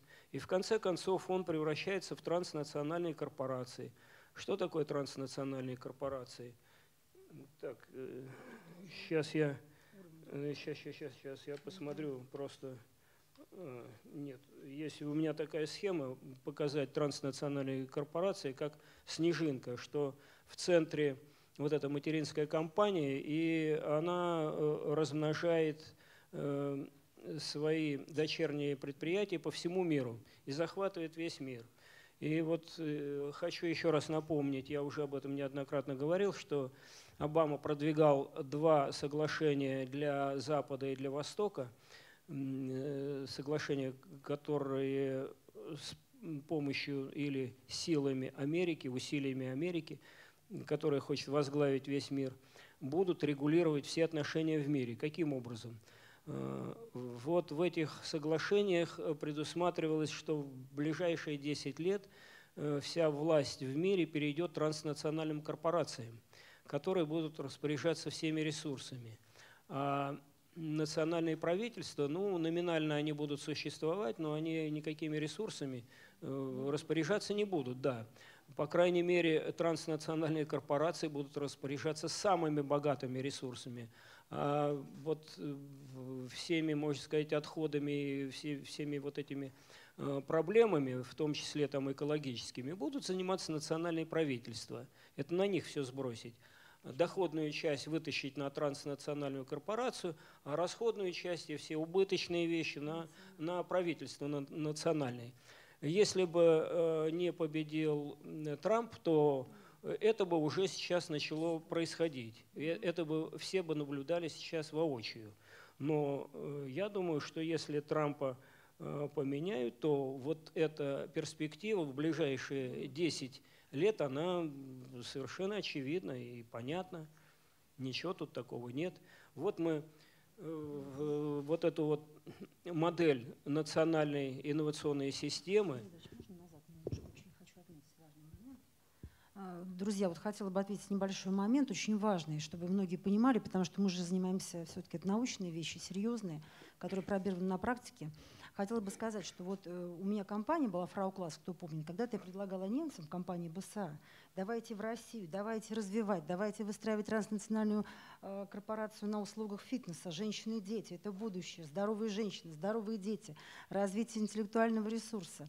И они тогда долго не могли мне объяснить, что и как. Они говорят, мы думаем. Но я прошла этапы развития своей компании, начиная от интеллекта моей идеи. 33 года я получила тогда медаль. И закончила я на этапе вот как раз-таки уже франшизы. То есть я сделала франшизу. Дальше я не смогла пойти. Почему? Потому что государство тогда вложило уже колоссальные капиталы в развитии фитнеса, спорта в России. Это вот как раз период был после 2000-х годов. И 2003-2007 год я уже закрывала свои фитнес-студии, потому что это было нерентабельно как предприниматель. И государство здорово вот этот вот формат э, подхватило и потащило, как государственный проект. И вот обращаю ваше внимание, очень важный момент. Понятно, что уже мир не будет однополярным. Национальные элиты, они отстаивают свои интересы, потому что они понимают, что если на них сбросить экологию, они будут потом тоже уничтожены. Их сталкивают со своими народами то есть национальные элиты. Обращаю внимание, один момент очень лев, вверху, левый, левый вот столбец, да, системность, э, охраноспособность, шикарный, посмотрите, шикарный. Обращаю ваше внимание, перераспределение всех благ, мягкая сила. Это самый мощный ресурс. То есть вот революции разрушить, разбить, разгромить там и так далее. А вот здания стоят, все стоит, через мягкую силу провести перетрансформирование всех благ, это очень дорогого стоит. Вот это и есть интеллект через народосбережение, понимание. То есть и сейчас вот идет вот в этом формате борьба. Поэтому война разведок не останавливается, скажем, ни на одну секунду. А Везде. это понимают?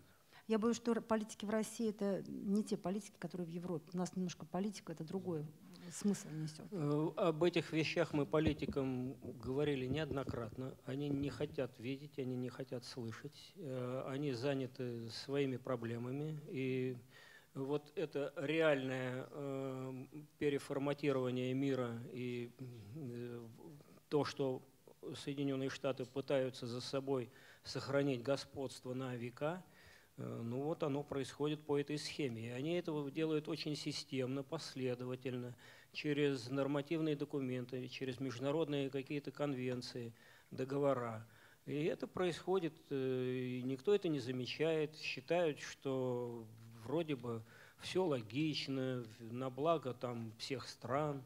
На самом деле выгодополучателем здесь является только одна страна. И политики. Вот есть политики, которые имеют национальные интересы, то есть это как люди нанятые, то в России политики, мне кажется, вот э, немножко неправильно. То есть это люди, у которых высокие короны, которым дали чуть больше денег, чем всем остальным, и они вообще безответственны в принятии своих решений. То есть них сняли ответственность за принятие решений в отношении своего собственного народа. Поэтому они не чувствуют, что сегодня народ России держит планку безопасности, и если э, народа не будет, народосбережения, их-то уж точно не будет, буквально на второй день. Они этого не понимают. То есть у них вот замылены глаза, можно сказать так, и вот э, они так убеждены, что они очень нужны, не имея интеллектуального ресурса. То есть их также вот закон отсечения, они не понимают, что такое закон отсечения. Я бы сказала, неумные люди. Прошу прощения. Вот здесь в компактном виде изображена вся, можно сказать, национальная э, инновационная э, система. Причем вот этот э, средний блок мы прорисовали, опубликовали в 2006 году. В 2006 э, как этюды, этюды национальной экономики, по-моему государственной экономики, инновационной экономики. Так вот, когда в 2011 году я при- приехал в Соединенные Штаты, и нам показали модель э, национальной инновационной системы, я был поражен, что она абсолютно вот повторяет э, вот, вот эту модель. Э, Разница между моей и, и той моделью э, состоит только в следующем. Здесь прописаны функции, а там они а, описали государство, то есть э, государственные органы и организации конкретные, которые этим занимаются. А под э, сущностью вот этих организаций, которые этим занимаются, э, функции вот все те же самые. Вот. И когда я приехал в 2011 году после программы САБИТ э, и изучения коммерциализации отношений в Соединенных Штатах э, и нарисовал вот эту модель, опубликовал, принес Министерство науки и образования, показал, говорю, давайте выс- выстраивать. Потому что вот, вот эта модель, по сути дела, это и американская модель, но она у нас более предпочтительна, потому что в Америке нет Академии наук как государственной структуры, а Академия наук – это источник э, м, новых открытий э, которые необходимо сразу превращать в изобретения, изобретения в технологии, э, технологии, со- соответственно, это все инновации, и далее все это вот идет по этому алгоритму, который легко контролируется, прозрачен, понятен, нормативно легко описать, э, все огрехи очень легко э, обнаружить, где кто не работает и, и кто как работает, все будет понятно. Вот. Но мне сказали, мы американскую модель повторять не будем. Я говорю, если вы захотите повторить американскую модель, у вас ничего не получится. Ну, тем не менее, вот эта модель, ну, я уверен, что через 10, через 20, через 50 лет они к этому придут. Они к этому придут. Вот это понятный абсолютно алгоритм э, построения национальной, всей национальной системы на одном листе. Почему не, не воспользуются? Ну, не хотят, не видят.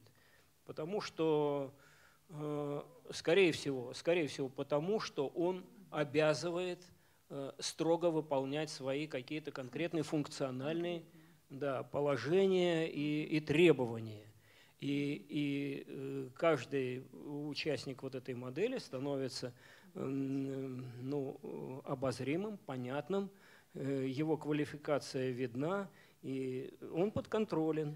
Ну, и, есть... и поэтому это не надо. Вот я просто хочу сказать, вы, многие присутствующие в зале, кто нас смотрит, вы знаете, что в России очень многие люди имеют э, корпорации и так далее, но они не проходят нигде в документах. То есть они ставят топ-менеджеров, люди расписывают и так далее. То есть закрывают свою компетенцию. Конечно, это имеет место быть, но вообще, когда мы говорим о прозрачности и компетенциях, то если человек понимает, о чем он говорит, он не боится участвовать и выявляться как таковой. Э, то есть что я имею в виду? Если человек говорит, я играю на рояле, он садится, играет. Для него гамма – это ничто. У нас сегодня в России и вообще в некоторых таких, скажем так, система сложилась такой формат, когда люди не видны, они принимают решения, стоят топ-менеджеры, и эти решения некомпетентные. То есть снимается ответственность. Вот что мы сегодня имеем, не выполняя вот этот инструмент, который Борис Борисович показал всем и сказал, что мы придем к этому. Но вопрос, какими усилиями и какими результатами, и дойдут ли все до этого, потому что элита тоже, она, как вы понимаете, бессмертность ищет, но не там, где она есть. Причем эту модель мы опубликовали раз 10 в разных журналах. Ее знают, по, по сути дела, все, кто хотел увидеть ее, увидели ее. Вот. А. Компетентность национальной элиты. Смысл компетентности. То есть кто хотел, тот увидел. Они с этим работают. Инфографики, а вы собственную инфографику предлагаете, понимаете? Так мне... Я так предлагаю. Ну, так как я представитель кафедры прикладной математики и программирования, и элементы инфографики у нас с первого до последнего курса, и в аспирантуру то же самое, и в диссертациях я их вижу. Вот. Это IDF 0, да, это американские стандарты, уже там десятилетия служат, но именно они понятны, они являются языком отражения глубочайших мыслей. Вот, это, вот, это, вот эта модель к, к Америке не имеет никакого отношения, потому что я на своем русском языке это делал. Когда американцы увидели э, вот эту модель опубликованную, и, и когда я знакомил с американским опытом, и я Э, опубликовал, что Соединенные Штаты работают вот примерно по этой модели. Ко мне из э, посольства Соединенных Штатов приезжали три раза и спрашивали, не надоело ли мне жить в России. Да, меня приглашали туда. Я сказал, что мне не надоело. Вот. Ну, на этом все закончилось. Просто я да. еще могу сказать, такие споры среди ученых будут всегда. Просто, знаете, как вот умные страны и умные элиты, они всегда аккумулируют и берут максимально лучшее и понятное. Как вот педагоги, мы учим как вот уши, глаза детям да, объяснить. Если человек не имеет, не знает, что такое методика преподавания предмета, он никогда не донесет до студентов информацию. Есть прекрасные ученые, великолепные академики, но когда начинают читать лекции, студенты ничего не понимают. То есть э, человек не может сам э, передать информацию. И вот это правило передачи информации, обучения, это тоже талант, это непросто. Поэтому вот американцы, они собирают лучшее вот, и стараются вот это давать. Вот через вот эти Сейчас я вас хочу ознакомить с восьмью мегатрендами, которые провозгласил Худзентау в 2007 году. И Худзентау, и Си Цзиньпин – это по базовому образованию инженеры. У них системное мышление, системный подход. Они понимают, как развивается промышленность, как развиваются инновации, как развивается экономика. Они вот это очень хорошо понимают. И вот, э, значит, э, вот эти э, мегатренды, мегатренды – это совершенствовать образование, значит, развивать инновации, наращивать финансирование – развивать систему отношений, внедрять рыночно ориентированную систему технологических инноваций, воспроизводить ученых, создавать им условия, воспроизводить отрасли, создавать новые, совершенствовать высокотехнологичные отрасли, планировать территории, осуществлять единое планирование развития города, села, продвигать строительство новой социалистической деревни, гармонизировать промзоны, расширять зоны промышленной модернизации и стремиться э, к гармоничному развитию всех регионов. Вот 8 мегатрендов, э, которые официально известны, и вот они, по сути дела, так и э, этим путем идут.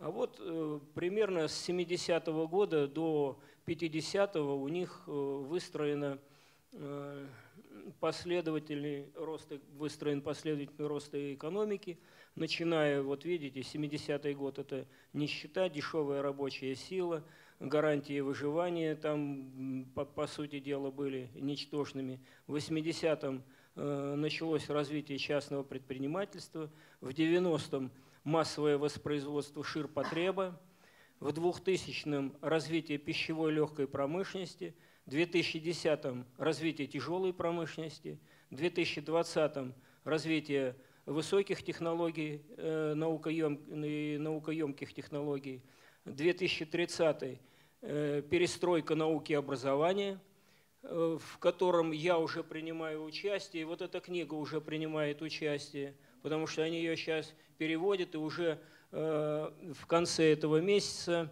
вернее, в конце февраля месяца, они ее уже начинают распространять по профессуре Пекина и Шанхая. 10 тысяч экземпляров.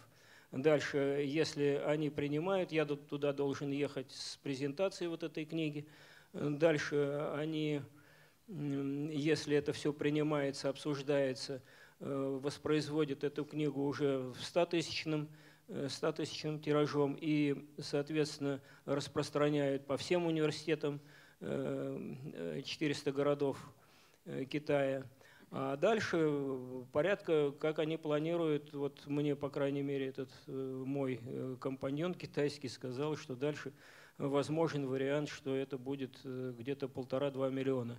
Этот тираж и почти как обязательная книга. Но я хочу сказать, что, скорее всего, они этого делать не будут. Почему? Потому что вот вслед за этой книгой у нас пойдут еще, это же первый том – пойдет второй том, третий том, четвертый, пятый, как я там называл. Вот поэтому они, скорее всего, остановятся на 100 тысячах и дальше э, будут ждать следующего тома, и, следующий запуск пойдет вот таким образом. Так что э, у нас отношения будут складываться, наверное, долгосрочные. И э, ну, вообще, если, конечно, не выходить на территорию Китая, то нашим деятелям, наверное, не будет понятно, а, а кто тут живет, зачем вообще эти книги. Э, только на примере Китая они поймут, что это надо. Поэтому я считаю, что этот пример в любом случае должен быть положительным. У нас, к сожалению, происходит так, сейчас не, не убирайте, не убирайте назад еще раз, что у нас всегда, э, понимаете, информация выходит из России вовне, там она обрабатывается, возвращается, и тогда они, ой, как это надо, а что ж мы пропустили, а что ж мы не видели, а потому что не понимают, интеллектуальный уровень разный, они не понимают. А вот эту вот вещь, как говорится, бессмертность, откуда все это идет, и вот они не понимают э, вещи вот эти, и поэтому очень тяжело говорить с людьми, э, которые обладают низшим уровнем интеллекта. Я хочу коснуться вот момента очень важного. Посмотрите, пожалуйста, 2020 год в таблице. Развитие высоких технологий. Развитие высоких технологий. Ну, Противоречия, да. которые идут. Вот Сорос, он финансирует сейчас э, борьбу против э, за экологию, за мир, за вот это все. А что такое высокие технологии даже в промышленном секторе? Если люди ориентируются не на высокий уровень прибыли, капитализм, да, вот оголдевшие, то используют технологии, которые позволяют производить совершенно новые вещи без вреда для здоровья, без, без вреда для человека, без вреда для окружающей среды. Это управление территориями. Если национальные элиты понимают это, то они этим занимаются. Поэтому вот это противоречие Сороса, он с одной стороны, там, давайте я вот, мы за экологию и так далее, а с другой стороны, эта борьба, как возглавить обезглавить, это развитие, скажем так, вкладывание финансов в будущее пушечное мясо, для того, чтобы как раз-таки столкнуть противоречия вот э, внизу национальных элит и народа этих элит. То есть, естественно, это снижение и уровня а, людей, и э, мощнейший конфликт. И он, мне кажется иногда, что он сам сумасшедший и не понимает, к чему ведет мир. Он не понимает, что этим процессом он управлять не сможет. Почему? Потому что они предполагают космические технологии, так, тактические действия, но он не понимает, что это невозможно невозможно управлять законами природы. То есть он хочет э, вместо Бога начать управлять законами, по которым развивается сам. Это ненормально просто человек, мне кажется.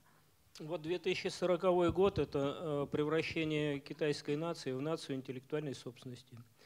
2050 год – это абсолютное доминирование по валовому продукту. И надо сказать, это, скорее всего, уже будет относиться этот показатель ВВП не к Китаю, а ко всей шанхайской организации, скорее всего, так. Э, здесь вот я... Но это, но это их мечты, да? Это не нет. Это, это хотелки. Нет, это не, не хотелки, а, а это реальный путь, по которому они идут. Вот э, если обратите внимание, 2020 год, они уже все это реализовали. Вот все, что было до 2020, они все сделали. Они все сделали. Они уже вошли в высокие технологии и сейчас э, пытаются американцы перекрыть кислород им вот, в айфонах и так далее. Э, пытаются. Ну, потому что по качеству они близки, пока еще отстают, конечно, от американских, но близки, а по цене они в 2-3 раза дешевле. Вот в чем дело. И, и дальше будет происходить еще хуже для американцев. Поэтому они заведомо начинают вот эти войны. И это войны и патентные, и это интеллектуальные войны, на самом деле, вот начинаются. я хочу сказать, Борис Борисович, буквально секунду тоже. 2012 год, вы обратили внимание, он очень четко отражен в схеме вот изменения. Было это, да? Так вот, 2012 года в Россию, я могу сказать так, не сразу как бы остановился, но, но был, начал просматриваться каток, когда за счет России, за счет интеллектуальных ресурсов э, выстраивался новый мировой порядок, по сути, однополярный. Да? И вот 2012 года прекратилось все-таки воровство наших ученых, вывоз э, инноваций и патентов, и все это финансировалось за счет российского бюджета. То есть комитет по, э, скажем так, развитию, комитет а, по инновациям в Российской Федерации, сейчас не помню формулировки, их было очень много. То есть выделялись огромные деньги, там 2-3 миллиарда и так далее, делались э, образцы промышленные, все это вывозилось, в отчет писалось, что ничего не произошло, ничего не получилось. И вот с 2012 года Россия начала тормозить каток уничтожения интеллектуа интеллектуальной, э, скажем так, э, интеллектуалов России, как на уровне физических лиц. И вот началось торможение, Россия начала потихонечку вступать в систему вот этой игры шахмат такой вот, 12 год. Даже могу дату назвать и время, кому будет интересно. Э, был у нас такой Птушенко Анатолий Владимирович, гениальный человек, который, ну, можно сказать, одним из первых в мире понял, что все право в мире, оно неправильно выстроено. Оно все начинается с э, вещественного права.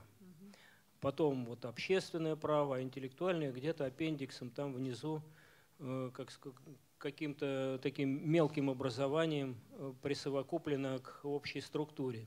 Значит, он первый понял, что интеллектуальное право должно возглавлять все, потому что Э, ну, как он говорит, голова у человека наверху, а ноги внизу. А почему в юридической форме ноги вверху, а голова в самом низу? Как это может быть? Вот он одним из первых, мы с ним встречались, много говорили, он доктор э, юридических наук, доктор экономических наук и кандидат технических наук, э, системщик потрясающий. Э, и вот э, он предложил вот такую модель, по которой я считаю, что именно по этой модели, близкой к этой, будет выстроена в будущем вся юридическая система, не только российская, вся мировая. Ну, вот его мнение, что вот право должно выстроено быть по э, трем вот таким направлениям. Вещественное, общественное и интеллектуальное.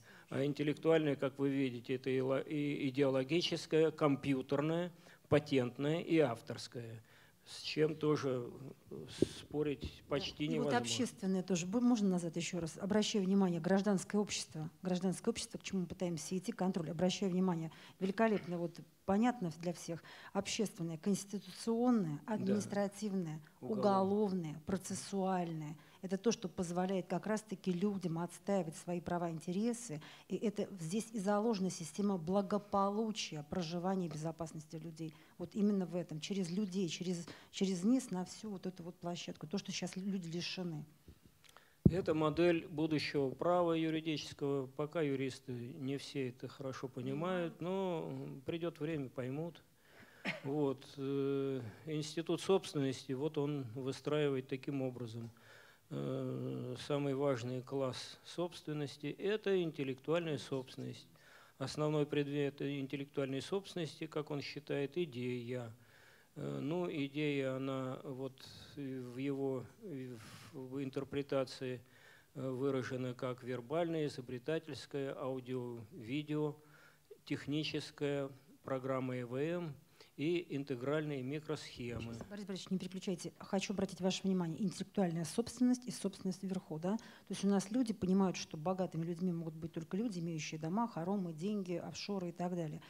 Человек, имеющий интеллектуальную собственность, сейчас уже оценивается. И вот наши ученые, мы вам уже показывали, 1 миллиард 700 миллионов, то есть интеллект человека. То есть человек может быть просто вот раздетым, а он лично, его интеллект, в котором в нем есть, он стоит вот такие деньги. И сейчас футболистов, видите, продают, да, это самый низкий уровень стоимости э, физического состояния человека, это футболист на примере. А вот ученые стоят вот таких вот э, сумасшедших денег. Почему и многих ученых передают по контрактам, допустим, даже ученые иногда не знают. То есть их отправляют по контракту куда-то работать, и на них зарабатывают сумасшедшие деньги, а человек получает там работу, зарплату, обеспечение семьи и так далее. Вот чтобы вы просто были в курсе этого.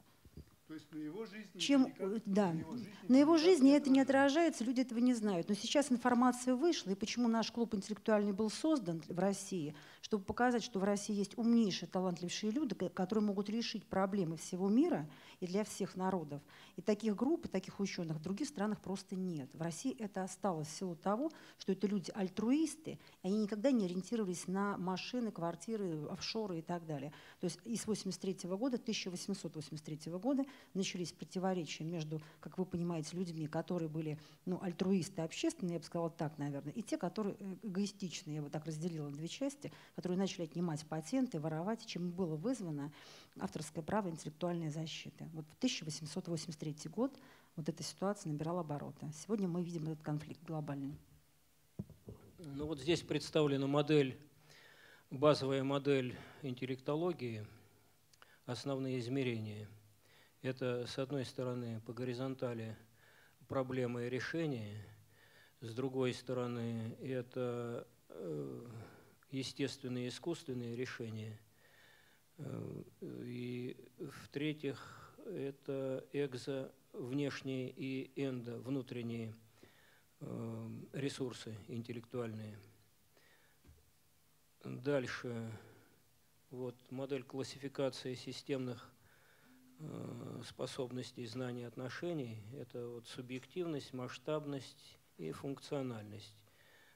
Они тоже хорошо измеряются, и поэтому здесь проблемы измерения не будет. Э, что касается вектора развития цивилизации, вот он идет по, примерно по этой э, схеме. Значит, э, интеллектуальная природа, она идет через идеологизацию, институциализацию знаний, системную экономику обязательно юриспруденцию обязательно через это ну, к высокому качеству жизни.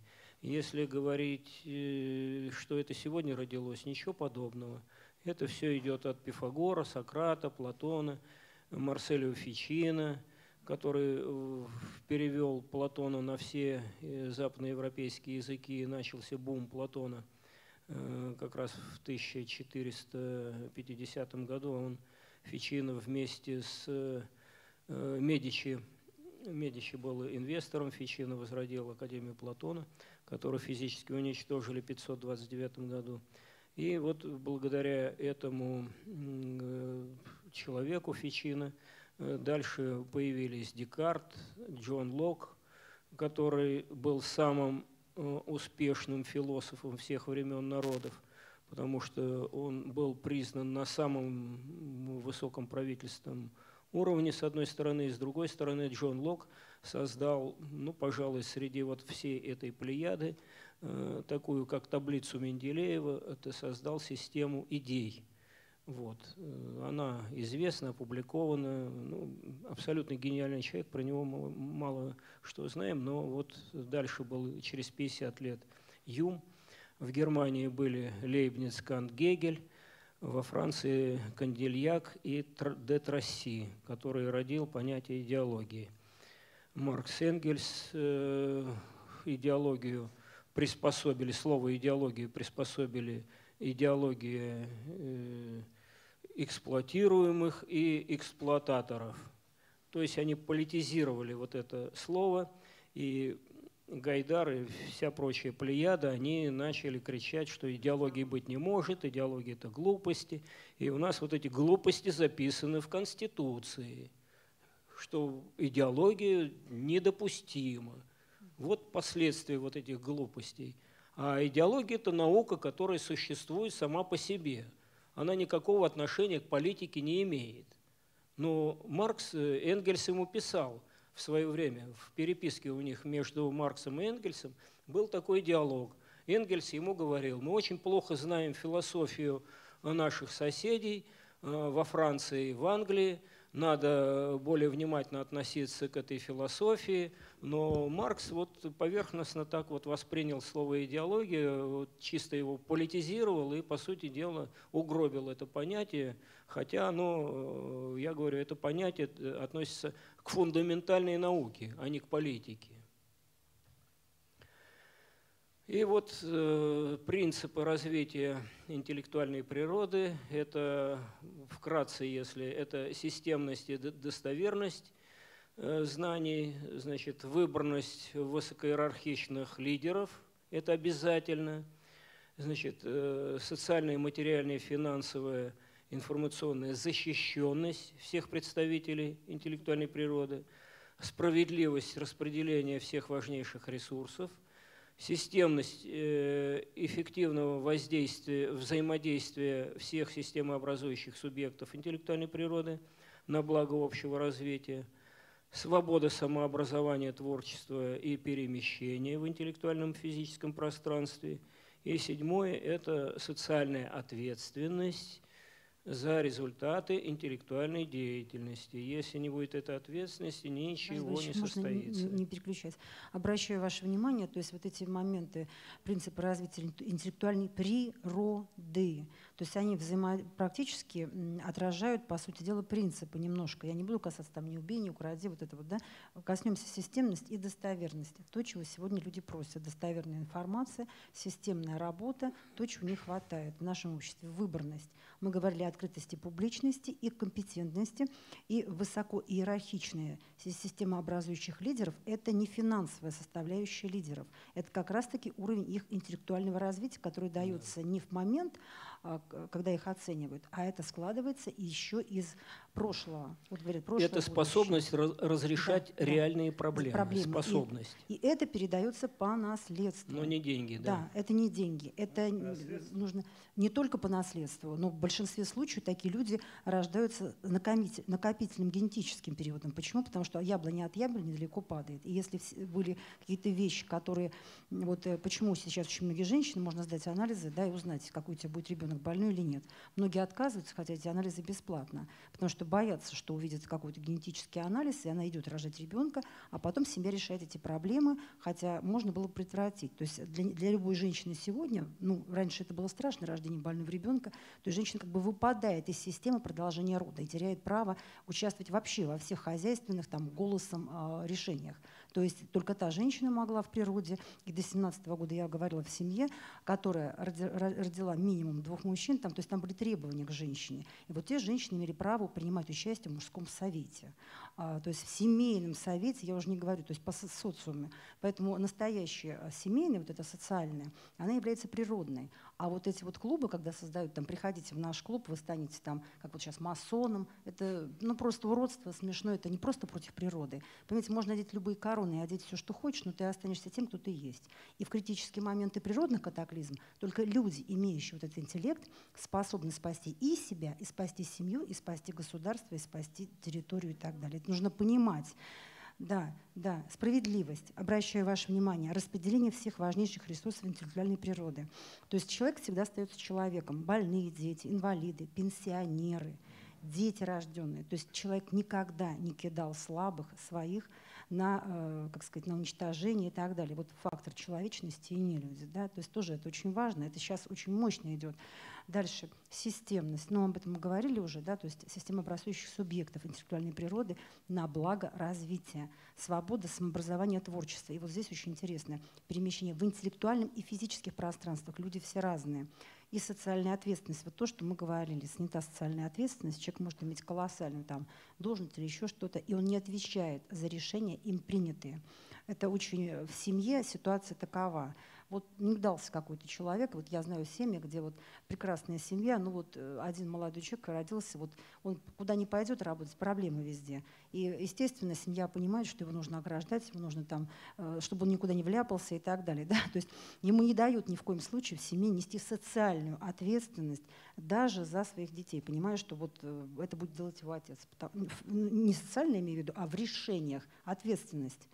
Э, куда ехать. Ну, я имею в виду такие вот на бытовом уровне, чтобы все это было понятно. Борис Борисович, прекрасно, спасибо вам огромное. Принципы, принципы известны. Простите, да. эти показатели личности, они измеримы или нет? Вы же все время говорите, что у вас научный подход. Нет, конечно, ну, раз научный, конечно, конечно. Как что, мы говорим конечно. про медицину, что она должна быть доказательная. Потому, а как они измеримы? Я не вижу, что они измеримы. Нет, я спорить Станислав не буду, Владимирович, конечно, если... Нет, не надо еще спорить, потому что все это конкретные вещи, которые легко измеримы, легко измеримы. По каждому принципу должны быть, естественно, определенные стандарты, методики. Это, это методики, причем, я бы не сказал, стостраничные, это достаточно трех пяти страниц. Это все измеримые вещи. Все измеримые вещи. Поэтому... Тогда, тогда в ученом мире, например, есть индекс Хирша. Количество ссылок на тебя, если ты лидер в своей предметной области, иностранных ученых, работающих в этой предметной области со всего мира. Вот как тут измерять? Индекс Хирша придуман американцами для того, чтобы... Вот как американцы, значит, все. Нет, нет, не все. Значит, он нужен э, для того, чтобы э, мы публиковали в англоязычных журналах все свои лучшие идеи, и извлекали, они извлекали пользу. Значит, вот здесь, на этом месте, через, э, ну, наверное, через месяц выступит человек, Макаренко Григорий Иванович, который придумал индекс российской, для, для э, российской, э, российского интеллектуального пространства, который превосходит индекс Хирша. Или сбежит мы, от нас мы э, с ним вас познакомим. Он уже рвется сюда для того, чтобы рассказать про свой индекс. Никакой нам индекс Хирша не нужен, потому что э, кроме утечки интеллектуальной интеллектуального ресурса, через него ничего не происходит. Никогда мы э, самыми популярными не будем в англоязычной среде, и, и ссылок на нас э, никогда там больше не будет, чем на англоязычных авторов, и поэтому все Нобелевские премии будут получать англоязычные авторы. Надо это Борис понимать, просто простые вещи. Да. Нет, давайте я отвечу на ваш вопрос. Э, вот у нас выступала здесь Вера Анатольевна Радина. Реально, да. Вера Анатольевна Радина, уникальная женщина. Она не кандидат наук, она гениальная, понимаете? Ей нужно давать даже не академика, а академию вместе с академиками руководить. Да? Почему? Потому что она э, решила проблему, которую не могли решить в Америке тысячи ученых, она здесь присутствовала. А вы знаете о том, что когда решила эту проблему, на нее было нападение? То есть ее чуть не убили. Почему? То есть э, в Америке одна крупная энергетическая компания, сдавая, я просто напомню, разрешите, да, недостоверную информацию, обманула колоссальное количество людей. И был, была проблема, чтобы люди, которые вкладывают, зарабатывают деньги честные и порядочные, чтобы на пенсию они вышли, вложили какие-то активы и получали оттуда какие-то денежки, жили на них. И вот обманули колоссальное количество людей и не могли эту проблему решить.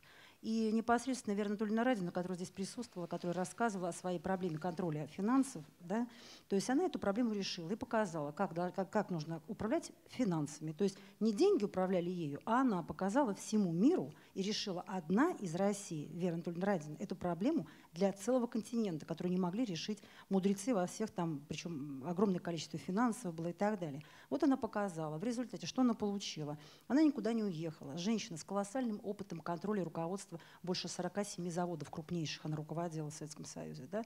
Ее чуть не убили, но она живет в России, и сейчас вот мы понимаем, что если ее контроль внедрить в России, то вот это воровство прекратится. Поэтому ее, еще, ее сейчас не приглашают, она неинтересна, надо же воровать, а если она поставит свою систему, это полный контроль. Но ей интересуется и ее работами интересуются как раз-таки вот такие, как Сорос и так далее. Потому что если они получат вот этот инструмент, отработают хотя бы на одном государстве азиатском это, то тогда национальным элитам уже будет просто смерть, капут, можно сказать. То есть они, отработав на одном, внедрят эти технологии по всему миру, и, соответственно, национальные элиты не смогут контролировать, а им дадут как раз-таки вот эти проблемы с народом экологически решайте. Без денег, без всего их опустят, скажут, решайте свои. И они не смогут сохранить ни капиталы, ни свое имущество, ничего.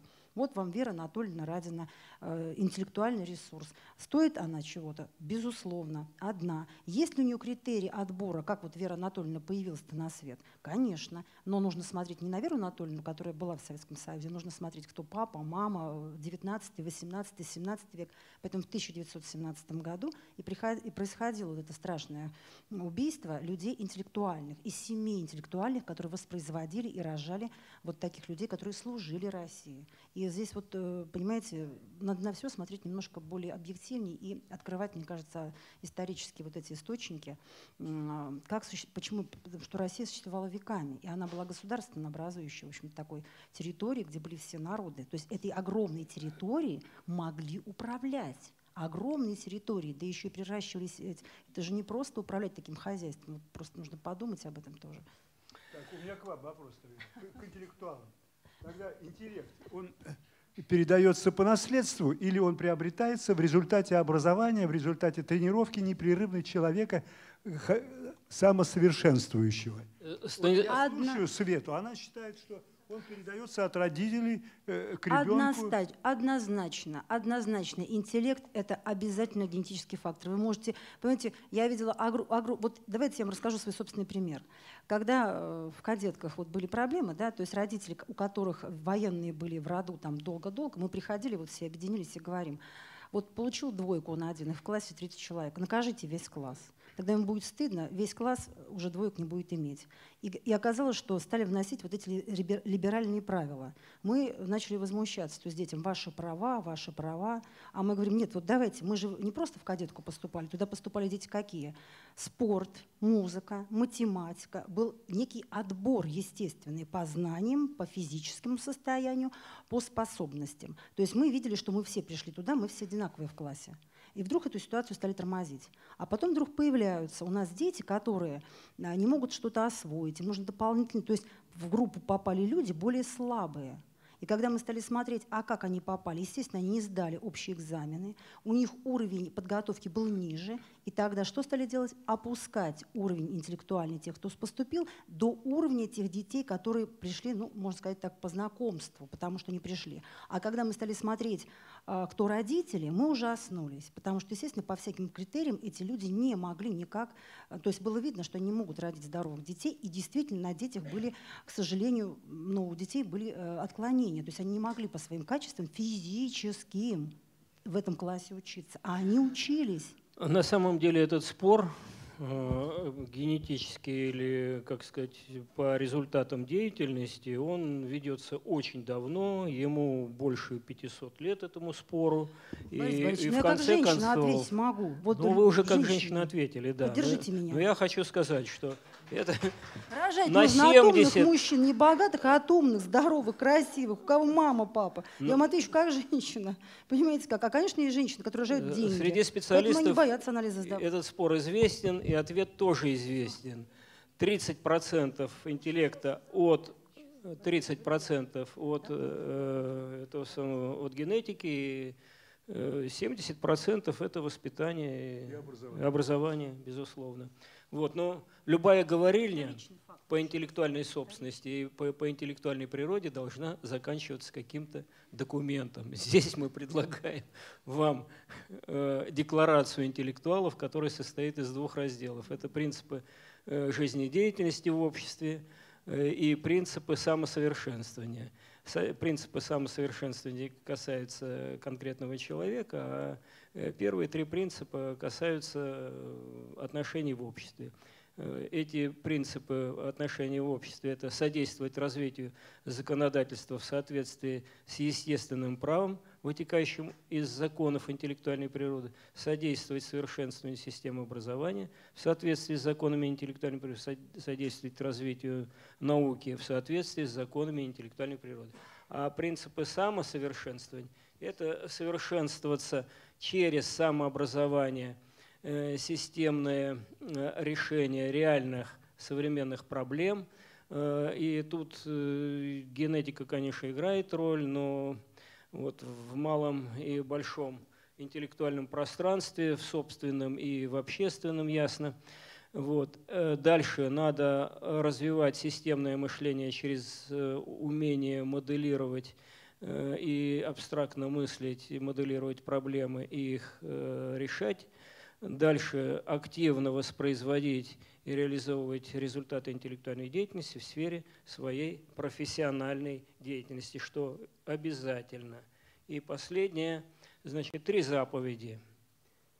Не творить во зло и ответствовать за свои творения. Это касается и ученых, и изобретателей, и бизнесменов, и политиков. Не разрушать человека и человечества ради коммерческой выгоды. И третье – не засорять природу и экосферу своего обитания. Все, спасибо за внимание.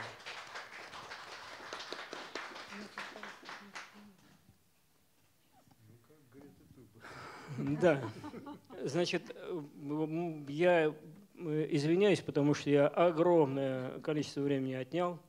И вообще-то Станислав Владимирович должен как-то это дело плавно продолжить. Может быть, коротко, плавно продолжить. Абсолютно коротко. Вот давайте мою, мою флешку поставим, да? И, возможно, там я не могу на таком...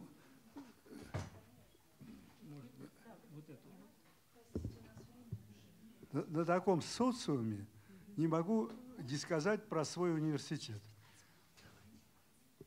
Я имею в виду Московский авиационный институт. Я представитель факультета прикладной математики и физики. Поэтому, если у вас талантливые дети, вы это чувствуете, я очень бы хотел, чтобы они к нам пришли и продолжили свое образование. Потому что вы знаете, что э, российское образование сегодня переживает определенный период неопределенности. Мы вступили в Болонский, Болонский процесс. Образование стало трехфазным. И сейчас на кафедру, я про свою кафедру скажу, со всей Руси Великой приехали люди из регионов, имеющие первое высшее именно по математике, но здесь они поступают вначале в магистратуру, потом лучшие из них пойдут в аспирантуру и продолжат карьеру в качестве ученых, ну, я надеюсь, так. И вот э, как раз моя миссия, как преподавателя этой кафедры, заключается в том, тем более дружа э, по-человечески с Борисом Борисовичем, я осознал, что нужно не просто интеллигентов даже в области математики из них делать, а интеллектуалов. То есть таких людей, которые создают результаты интеллектуальной деятельности, в итоге входящие в употребление человечества. И вот с Борисом Борисовичем, тем не менее, на это дело спорим. Борис Борисович мне говорит, что ты знаешь, Станислав, что математика – это всего-навсего язык науки. Наука – это физика, физиология, биология, ну и много логики. Биология, астрономия. Да. Интеллектуология в итоге наука получается, а математика только инструмент. Вот. Для, для развития этих наук. И вот вам пример, пожалуйста. Мой товарищ с моей кафедры подготовил докторскую диссертацию в области фрактальной алгебры. И вот я слушал сегодня много высказываний по поводу социологии, ведь сплошь применимы методы фрактального моделирования для того, чтобы улучшать, для того, чтобы улучшать как раз реальные системы. Независимо от того, в гуманитарные, в технические сферы. Можно правильно делать транспорт московский. Я предложил ему среди магистрантов сейчас запускать такие проекты, как, например, сравнение э, с помощью фрактальной алгебры, э, сравнение структуры транспортных систем крупных городов. Например, Москвы, Лондона, Парижа. Интернет позволяет это сделать. Не обязательно туда ехать сразу. И, у него э, применение, потому что на сегодняшний день Саша Семенов, если это в интернете пойдет, он увидит, что я помню, про него сказал на таком собрании. Значит, сделал аппарат для изучения э, практически многих совершенно предметных областей, а сам не применяет. Вот как его классифицировать? Он внес свой результат в развитие, э, в развитие науки, э, интеллектуологии. Вот. Поэтому, Борис Борисович, наши споры не закончатся, наверное, никогда. Теперь, я не знаю, можем ли что-нибудь показать или нет? Вот, вот, смотрите, я включила вам. А, уже получилось, да? таблицу, какую таблицу? Что? Вы. Сейчас я, ой, я не Сейчас я сяду, вам компьютер. мимо, мимо стула сажусь. Тут как, вот так? Вот смотрите, можно сразу, вот, Чтобы вы на руках не держать. А, ну, Говорите ну, сюда. новую, да? Да, конечно. Хорошо. Сейчас я смотрю, что открыть для того. Я по поводу математики языка хочу уточнить. Да, Э, Да, вы пока ищите э, свои тут, тут очень маленький экранчик, слайды, да. коллеги. Значит, э, хочу сказать такую вещь, что известный физик Нобелевский лауреат Гейзенберг, они очень дружны были с Бором, Нильсом Бором. И Гейзенберг совершенно четко определил и сказал, что когда Нильс Бор пытался математическую модель, какую-то интересную, такую, на его взгляд, перспективную, поставить впереди и под нее искать какие-то природные явления, то у него ничего не получалось. И эти попытки были многократные. Это примерно то же самое, что у нас экономико-математический э, институт, э, он, он занимается тем, что вот создают какие-то математические теории, а потом туда подгоняют какую-то экономику. И это все не работает, это все мертвые вещи. И вот он сказал, Гейзенберг, про Нильса Бора, что когда Нильс Бор а, выявлял какой-то эффект физический, обнаруживал, он недели две-три, месяц ходил, э, вынашивал понимание, вот философское понимание этого феномена, который до сих пор был непонятен никому. И когда он начинал понимать, после этого он подводил туда математический аппарат и работало безупречно. И это вот э, один из примеров того, что математика не является лидирующей наукой. Математика является сопровождающей точно так же, как деньги не являются лидирующим средством. Деньги сопровождают идеи, а математика сопровождает, э, как сказать, открываемые феномены, эффекты. Вот. И здесь, на мой взгляд, это моя точка зрения у Станислава Владимировича. Он профессор э, кафедры э, да, прикладной математики, у него целый ряд э, Моя студентов, студентка- которые моя студентка- имеют международные дипломы. Послушав э, всю теорию, которую сегодня мы так долго излагали, а Борис Борисович даже изложил ее в своих работах, вот сделала такое видео примерно на 5 минут, и где про интеллектуальную природу, с моей точки зрения, рассказывает очень интересно. Ну, естественно, вот, с помощью ча- частично заимствованных кадров из интернета, но она все это смонтировала. Давайте посмотрим.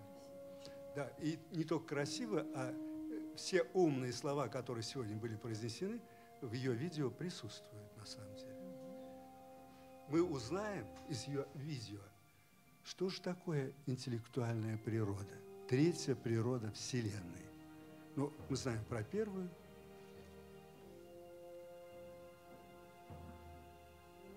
Успеваем читать, да? Студенты успевают, это для всех было сделано.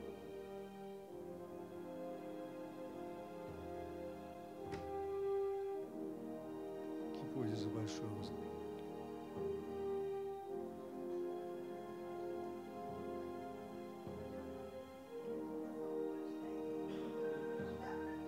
Сейчас пойдет все за кадром, да.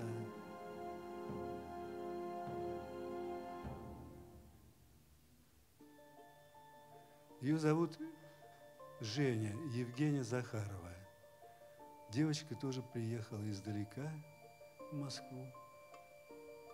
Уже математик, сейчас будет магистром. Потом, я надеюсь, пойдет ко мне в аспирантуру.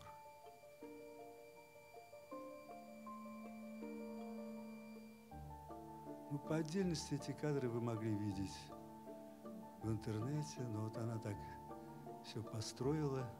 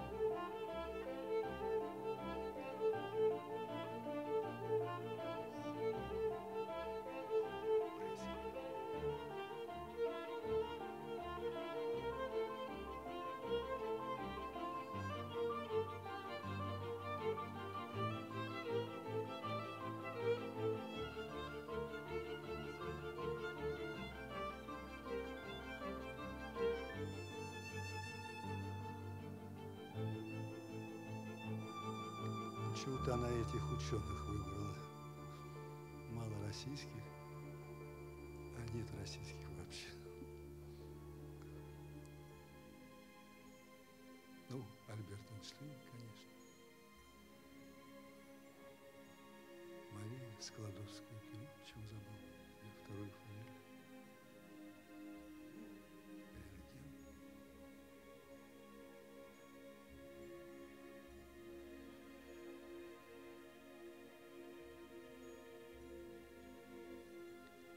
Нобелевские лауреаты все.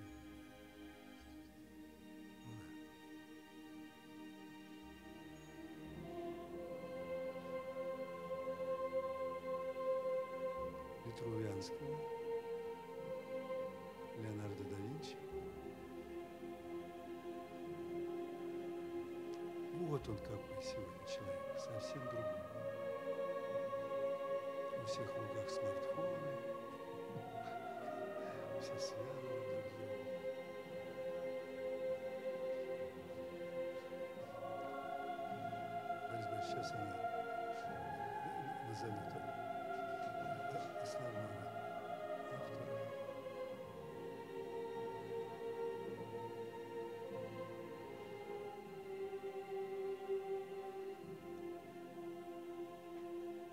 Крымский мост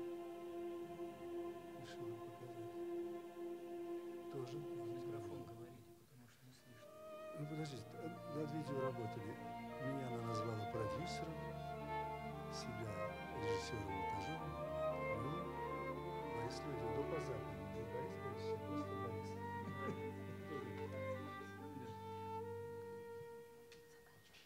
Все, спасибо. Не успел я вам рассказать об институте нашем, московском. Следующий раз. Но э, и по поводу локации. Здесь маловато локации для такой важной проблемы, которую мы обсуждаем. Может быть, правда, э, какие-нибудь университетские возьмем здания? Ну, например, Дом культуры и техники Московского авиационного института. У нас недалеко, на Соколе. На Волоколамское шоссе, дом 4. Ну, в общем, давайте э, развивать клуб, который вот сижу рядом с его создателем. Спасибо.